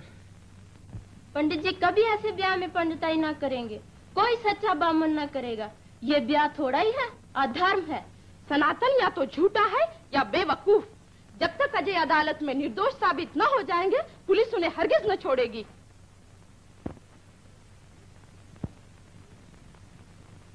अजय को किस तरह पुलिस से छुड़ाया जाए? किस तरह? क्यों जी? जो कोई और चोरी को अपने सिर पे ले ले तो? धन्ना रुपए के लोग से तैयार हो जाएगा। वो कई दफ़ा जेल की हवा खा भी चुका है। तरकीब तो अच्छी है। लेकिन भैया धन्ना के चुराए नोट अजय की जेब में कैसे पहुँचे? कैसे पहुँचे? हाँ सुनो। नहीं पहले मेरी सुनो। चोरी की खबर फैलने पर धन्ना घबराया और जब उसके लड़के को देखने के लिए अजय उसके मकान पर गया तो धन्ना ने चुपके से नोट उसकी जेब में डाल दिए। ठीक है। लेकिन अगर पुलिस ने पूछा कि हमें कैसे पता चला तो तो सुनो मैं बतलाता हूँ। धन्ना कुछ नोट ढूंढाने के लिए तुम्हारे पास लाया। हाँ। उसके पास इतने बड़े नोट देखकर तुम्हें शुभा हुआ और तुमने उससे दस्खत करने को कहा। तो वो डर गया। और और कहने लगा नोट किसी और के हैं। उसे सही करा के लाता हूँ। और जब का गया फिर नहीं लौटा। हाँ और जब मैंने नोटों की चोरी और अजय की गिरफ्तारी का हाल सुना तो मुझे धन्ना पे शुभा हुआ। तुमने मुझसे ज़िक्र किया मैंने धन्ना को बुलाया। और मैनेजर साहब के सामने आते ही धन्ना जी के होश उड़ गए। उन्होंने सब मामला उगल दिया। ठीक है बिल्कुल यही हुआ। बुलाओ धन्ना को।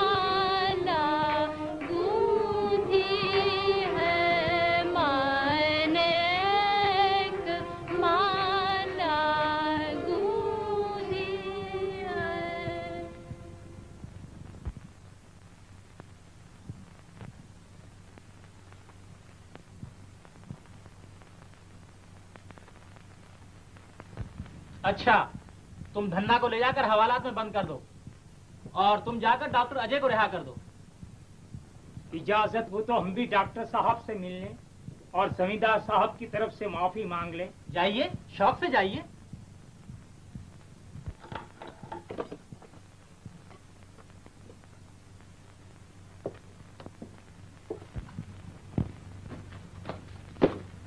पंडित जी कहाँ चले? मैं तो आप ही के पास आ रहा था। हम प्रतिमा देवी जी के यहाँ जा रहे हैं। जिम्मेदार साहब आपको बुलाते हैं। जब तक वो सारे गाँव वालों के सामने ये न मान लेंगे कि उन्होंने अजय डॉक्टर पर झूठा दोष लगाया मैं उनके घर में पाँव न रखूँगा। झूठा दोष? अजय के इंजेक्शनों ने तुम्हारा सर भी फिरा दिया है। अजय?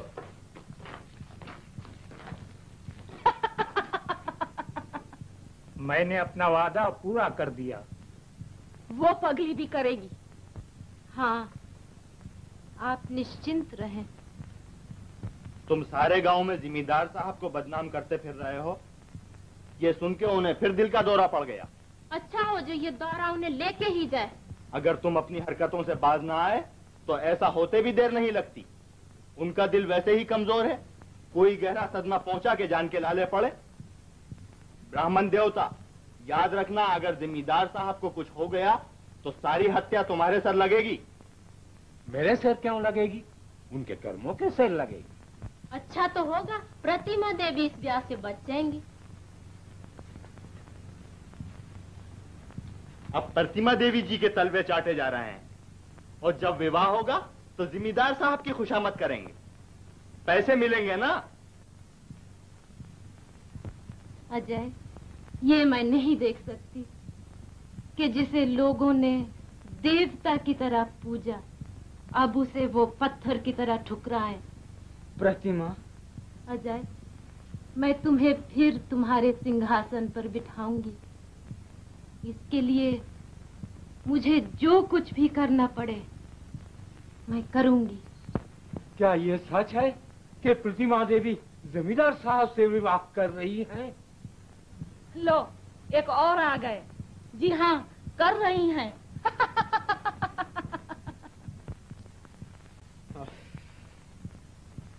अजय अब आज़ाद है। मुझे डर है वो प्रतिमा को इस विवाह से रोकने की ज़रूर कोशिश करेगा। हम्म, वो लाख कोशिश करे लेकिन वो ना मानेगी। नहीं प्रतिमा ये बलिदान मुझसे न देखा जाएगा। पागल जक्का माली वो पागल है भगवान। फूल में रखा कांटा और सेवा में बलिदान। अजय, जीवन से खेलना हमें तुम्ही ने सिखाया है। ये बलिदान तो कुछ भी नहीं। हमसे देश को इससे भी महान बलिदान की आशा है। सरकार इस विवाह में देर न होनी चाहिए।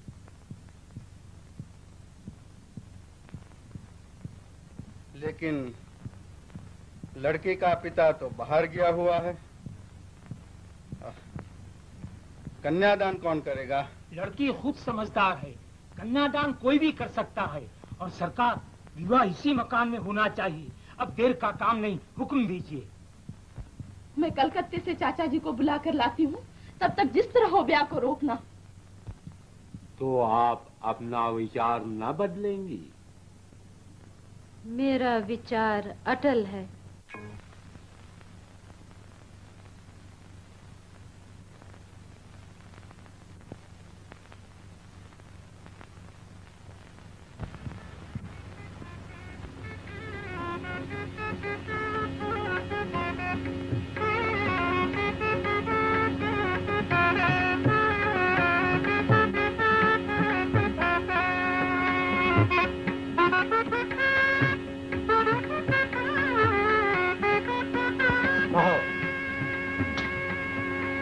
ओम और यज्ञ आदि के कामों में होम और यज्ञ आदि के कामों में मैं आपकी सहायता करूँगी।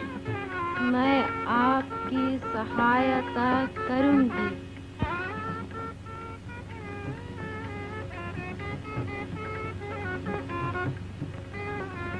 ये विवाह नहीं होगा। धर्म अर्थ काम। धर्म अर्थ काम। इन तीनों इन तीनों पुरुषार्थ के कार्यों में पुरुषार्थ के कार्यों में मैं आपकी मैं आपकी इच्छा के अनुसार चलूँगी। इच्छा के अनुसार चलूँगी। देव ब्राह्मण और अग्नि की सापे। देव ब्राह्मण और अग्नि की साक्षी से आप मेरे स्वामी हुए। आप मेरे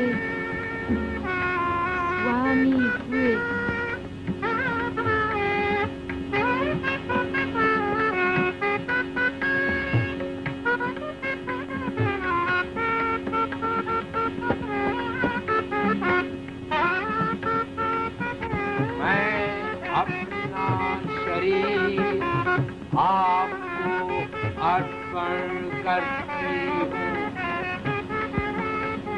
नहीं नहीं।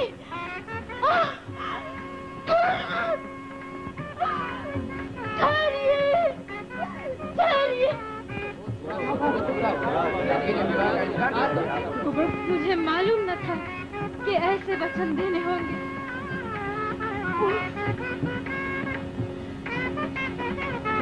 ब्याह का विचार करना भी पाप है।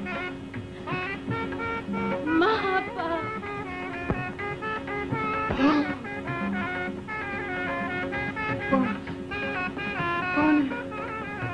अरे पानी पानी कोई पंखा लाओ।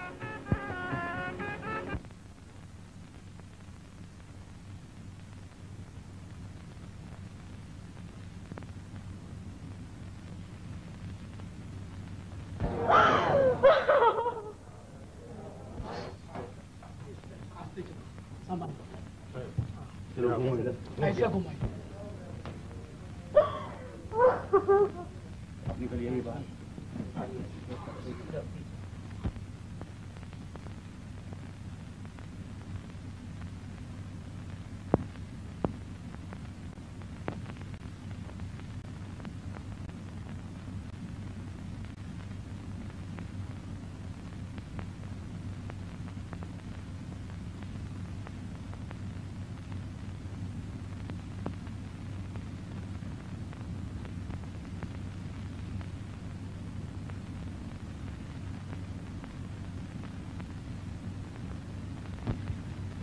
भगवान।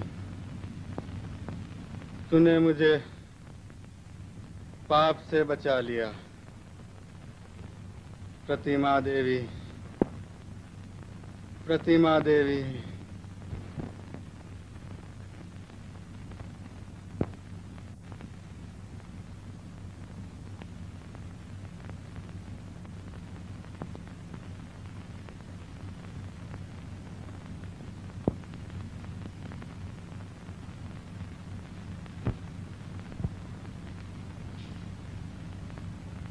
जमींदार साहब आपको बुलाते हैं।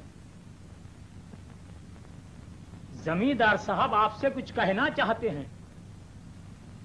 चलिए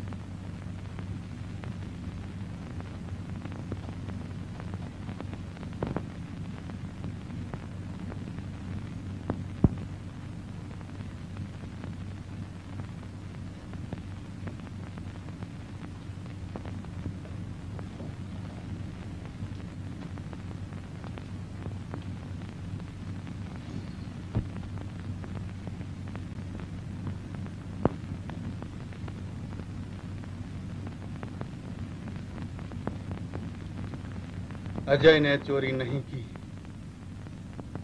वो चाल थी। चाल अजय को बदनाम करने के लिए। तुम्हें अपनी वासना का शिकार बनाने के लिए। और तुम्हारे उद्देश्य को खाक में मिलाने के लिए। मेरे पापों की याद मेरी आत्मा को व्याकुल कर रही है। आह देवी क्षमा। मुझे क्षमा करो। आह मैं मर रहा हूँ। भगवान ने हम सबको पाप से बचा दिया। अजय अजय डॉक्टर को बुलाओ। जब तक वो भी मुझे क्षमा न करेंगे मैं शांति से न मर सकूँगा। मैं जाता हूँ सरकार। सनातन। पापी। तू ही ने मेरे जीवन को पापमय बना दिया। अंत समय तू मेरे सामने क्यों आया? आ, आ, जा निकल निकल यहाँ से। पापी। देखिए ये आपके लिए अच्छा नहीं। जाओ अजय डॉक्टर को बुला लाओ।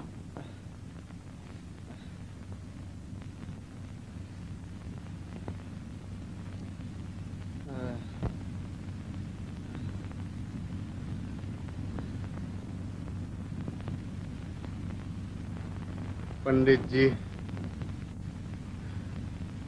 मेरा आखिरी वसीयतनामा लिखिए।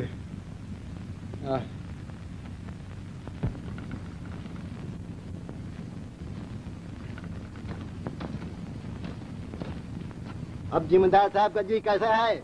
हम क्या जाने? अजय डॉक्टर से पूछो। अजय डॉक्टर!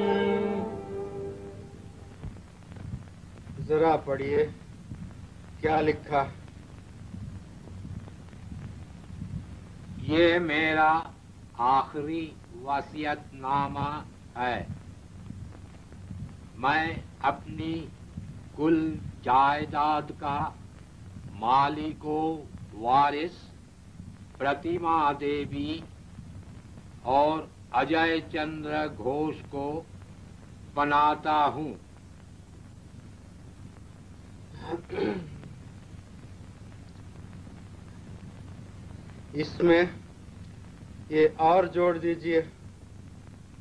मैंने प्रतिमा देवी और अजय चंद्र के साथ बहुत अन्याय और जुल्म किया और उनके काम में बाधा डाली। ये उस पाप का प्राश्चित है।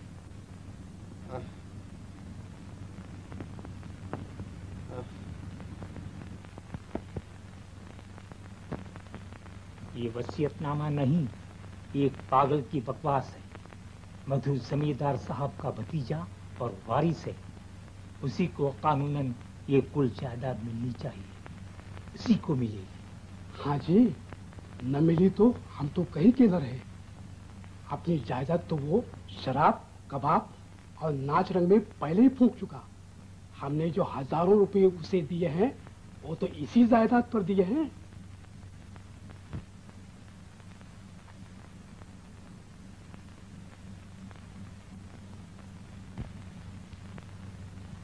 अरे दस्खत भी कर दिए। अब अब क्या? दस्तखत के गवाह सिर्फ़ प्रतिमा और भवानंद है। सारा गाँव जानता है कि जमींदार साहब के दुश्मन हैं और हम उनके खैर खा विश्वास पात्र लोग हमारा कहना मानेंगे या इनका? हाँ ठीक है। हम साफ़ अदालत में कहेंगे कि हमारी आँखों के सामने इन लोगों ने बेचारे मरते हुए जमींदार के कांपते हुए हाथों से ज़बरदस्ती वसीयतनामे पर दस्तखत कराए। गोखला अकेला कैसे आया? डॉक्टर साहब नहीं आए। अच्छा जा और देख ज़रूरत हो तो हम यही हैं। अच्छा। अब मैं शांति से मर सकूँगा। पंडित जी अपने सामने इसकी रजिस्ट्री कराकर उन्हें दे दीजिएगा। मुझे आप पर पूरा विश्वास है। हाँ लेकिन औरों को भी हो तब ना। डॉक्टर साहब ने आने से इनकार कर दिया।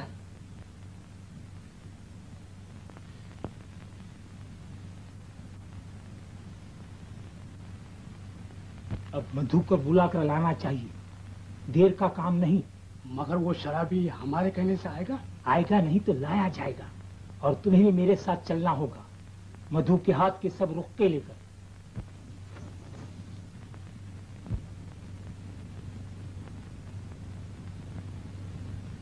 अजय चलो। जान बचाना तुम्हारा फ़र्ज़ है।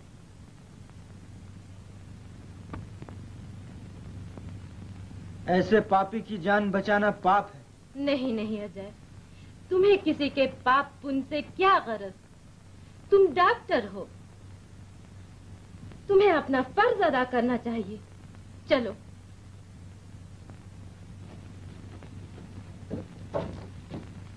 महात्मा चरक की कृपा से बड़े बड़े रोगों को हमने चुटकियों में उड़ा दिया। हाँ जी उस दिन सुबह राम जी के सिर का दर्द एक ही पुड़िया में जाता रहा। और वैद्य जी की गोली तो बस रामबान है। अजी ये अजय डॉक्टर बैठक भी जाने हैं। वो कल का छोकरा वेदक क्या जाने? फोड़े फुंसी की दवा कर लेता है। बड़े रोगों का इलाज वो क्या खा के करेगा? इसीलिए तो नहीं आया। ये तो हम ही हैं?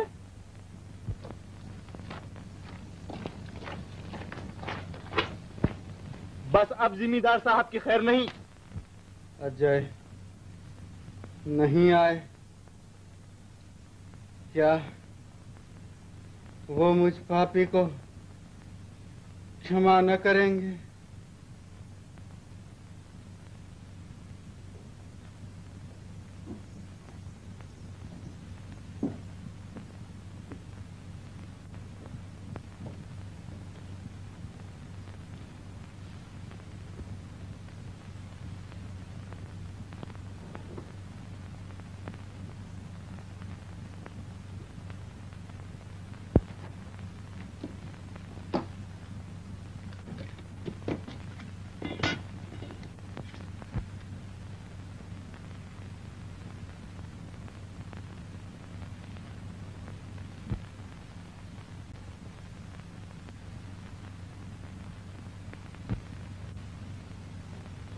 मनीलाल ये इंजेक्शन जमींदार साहब का खात्मा कर देगा।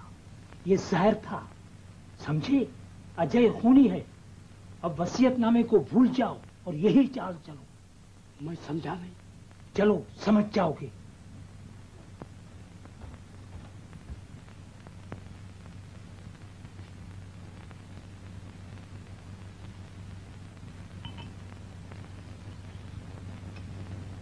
ये लीजिए मधु बाबू और फिर न मांगिए। क्यों? कलाल पैसे माँगता है। तो दे दो। हूँ तब न। उस रोज मनीलाल ने जो पाँच सौ रुपए भेजे थे। पाँच सौ पाँच रोज चल गए और क्या चलती? न चले तो न सही। और आ जाएँगे। तुम फ़िक्र क्यों करती हो? मधु बाबू आप इतने बड़े जमींदार के भतीजे हैं, फिर भी आपके पास शराब तक को पैसे नहीं।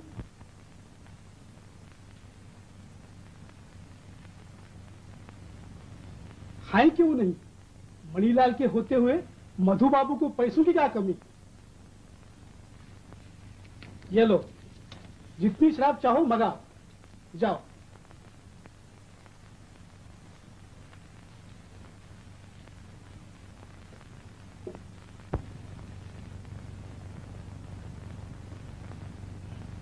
आप यहाँ नाच रंग में मस्त हैं उधर जमींदार साहब मर रहे हैं।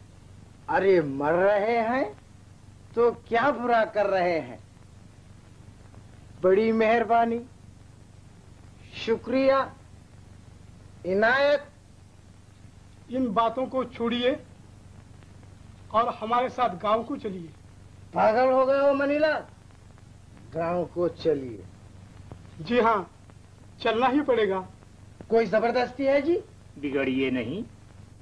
आपका गाँव चलना निहायत ज़रूरी है। सुनिए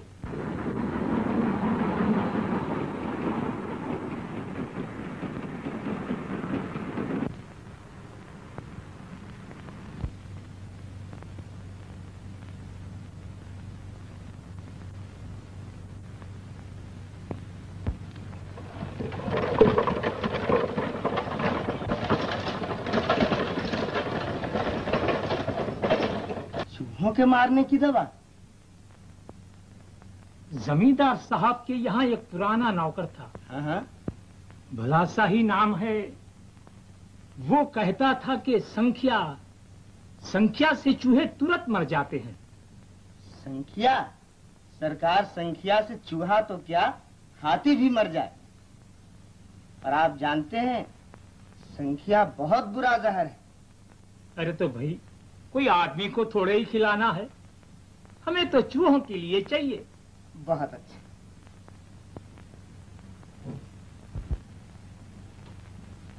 और बहुत होशियारी से काम मिला है सरकार।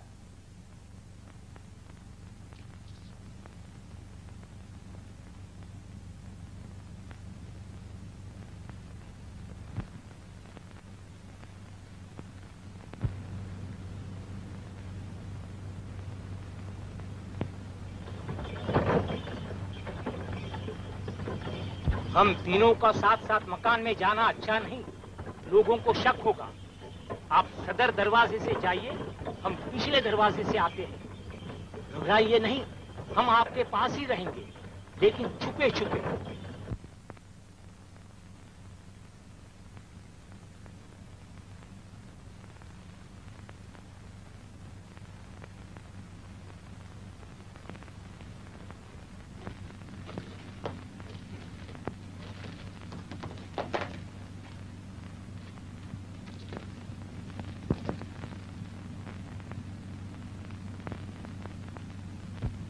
हमने तो शाबाश छोड़ दी थी।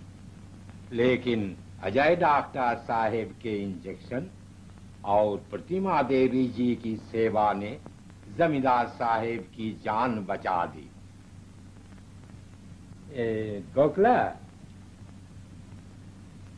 जाओ तुम जमींदार साहेब के पास रहो और प्रतिमा देवी को थोड़ी देर के लिए यहाँ भेज दो।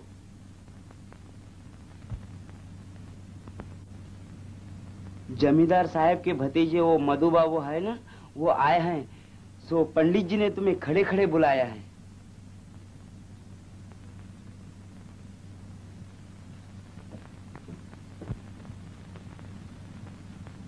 चाल तो चलती दिखाई देती है। हमारी चाल है।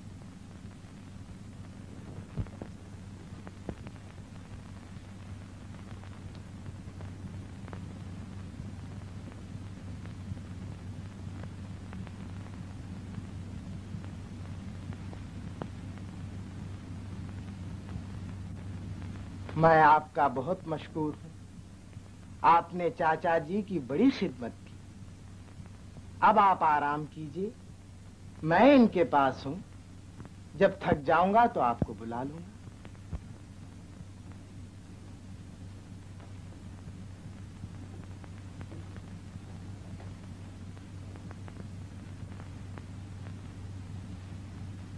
बोलो मत, काम पैंतीस हो रहा है।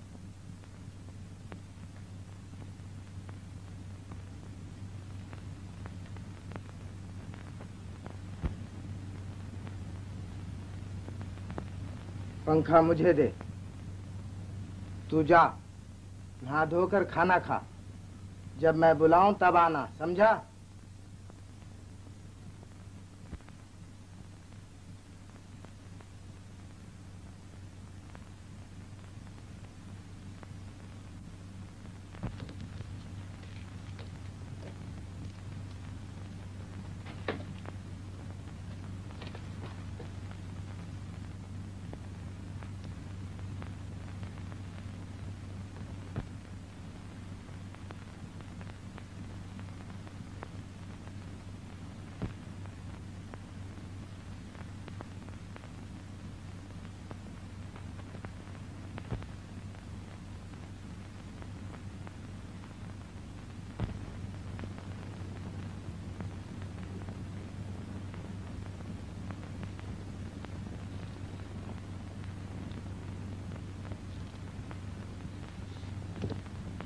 मौका मिलते ही इसे पानी में मिलाकर देर न कीजिए। अच्छा हम जाते हैं। कहाँ जाते हो? नहीं नहीं, यहीं ठहरो।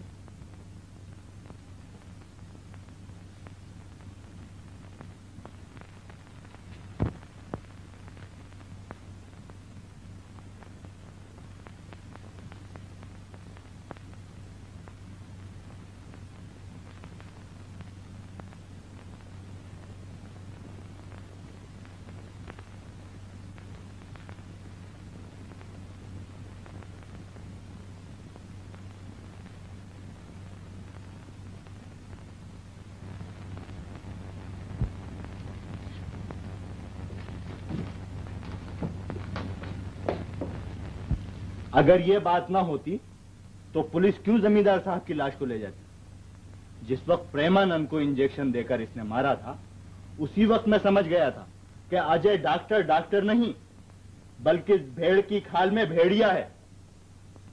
मैं कहता हूँ कि इसने और प्रतिमा ने मिलकर जमींदार साहब को मारा है।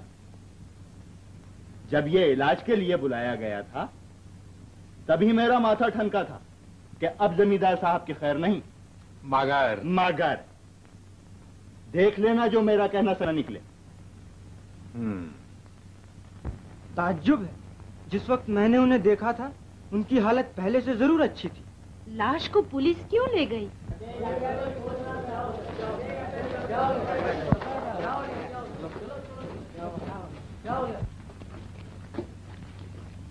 अजय डॉक्टर और प्रतिमा देवी। मैं आपको जमींदार साहब का खून करने के शुबे में गिरफ़्तार करता हूँ।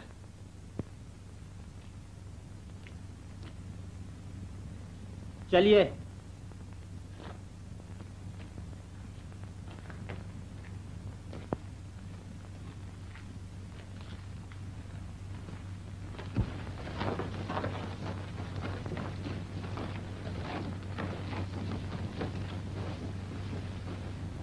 अरे भाई, ये क्या कह रहे हो?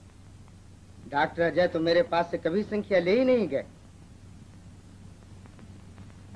हाँ जमींदार साहब के मैनेजर साहब ज़रूर चूहों को मारने के लिए कुछ संख्या मेरे पास से ले गए थे।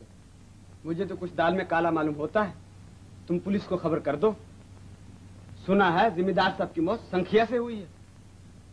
तुम ठीक कहते हो कहीं मैं न फंस जाऊँ।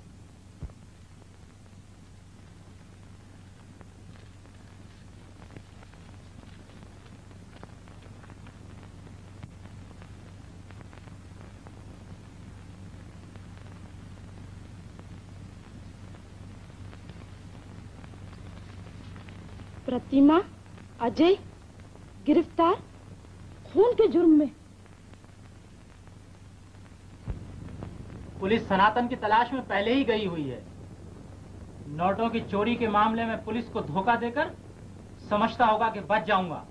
लेकिन अब पता चलेगा। आपकी रिपोर्ट से ज़ाहिर है कि जमींदार साहब के खून के मामले में भी उसका हाथ ज़रूर है। हुजूर सनातन घर पर नहीं है। मधु बाबू के साथ शहर वाली कोठी पर गए। शहर वाली कोठी श्रीपुर के थाने में है। अच्छा उसकी गिरफ्तारी के लिए वहाँ के दारोगा जी को खत लिखते हैं। फ़ौरन ले जाकर उन्हें दे दो। असामी की शनाख्त के लिए आपको भी साथ जाना होगा। बहुत अच्छा।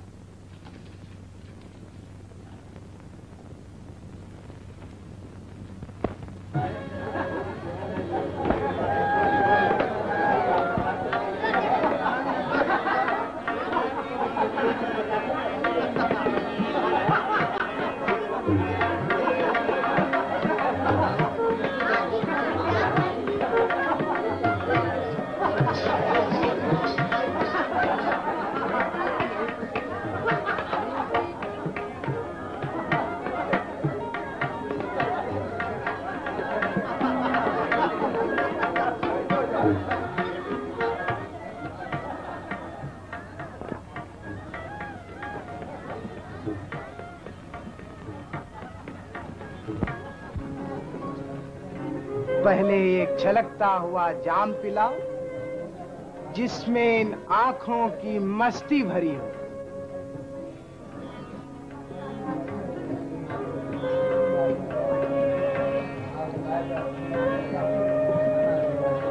लीजिए। लीजिए। बस। और क्या सारी जमींदारी की मालकिन बनोगी? क्यों नहीं? ये ना बनेंगी तो और कौन बनेगा? बस रहने दीजिए इन कोरी बातों को। जाइए हम आपसे नहीं बोलते।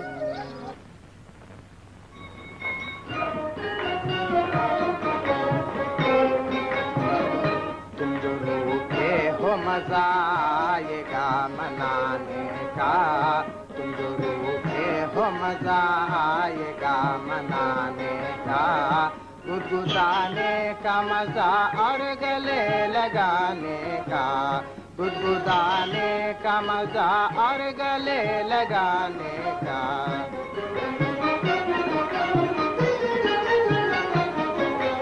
आवो मोहनिया सजनिया।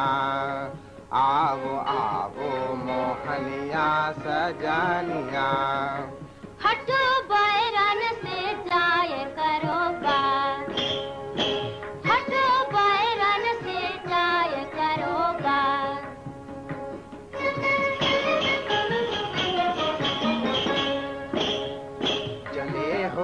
हो से खिंचे कमान से चले हो बान से खिंचे कमान से चले हो बान। बान तुमको बुरी है हमें जलाते हो। नहीं है जान। जान हम है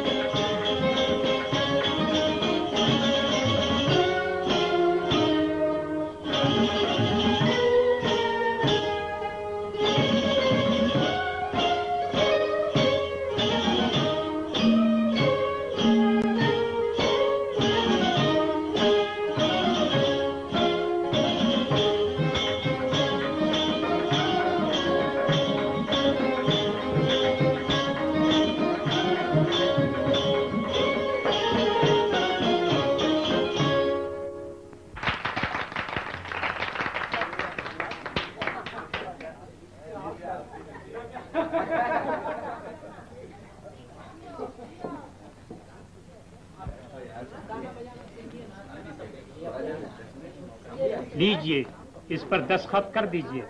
ठहरिए पहले पढ़ लीजिए। तुम बीच में बोलने वाली कौन हो जी? सब कुछ। जिस तरह बूढ़े जमींदार को लूट कर खा गए। जबान संभाल रही छोकरी। अपनी औकात को न भूल। सनातन। बस साहब ये पाजी हमारी बेइज्जती कर रहा है और आप बड़ी इज़्ज़त वाली आई। बाजारी कहीं की। हमारा सनातन के बच्चे। दूसरी दफ़ा इनकी शान में ऐसे लफ्ज निकाला तो तेरी जबान खींच लूँगा। क्या? ठहरिए ठहरिए झगड़ा? निकल जा यहाँ से। बाजी मैंने ही बाबू साहब को जायदाद दिलवाई और जायदाद तेरे बाप की थी जो तूने दिलवाई। निकल जा यहाँ से। अच्छी बात है।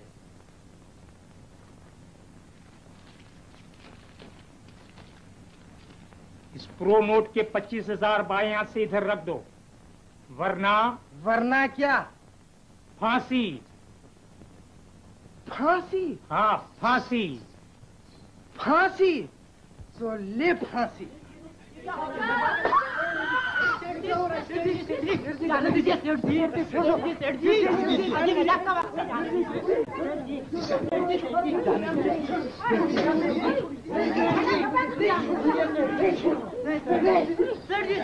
सुनो सुनो सब सुनो।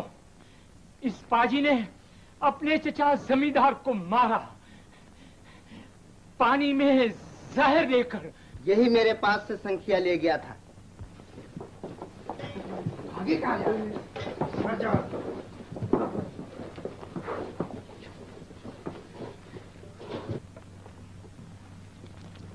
हुजूर पुलिस मुलजिमान के खिलाफ मुकदमा नहीं चलाना चाहती।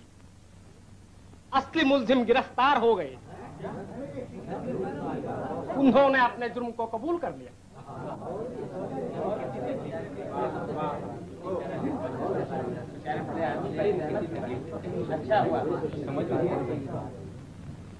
मुलजिमान रिया किए जाए।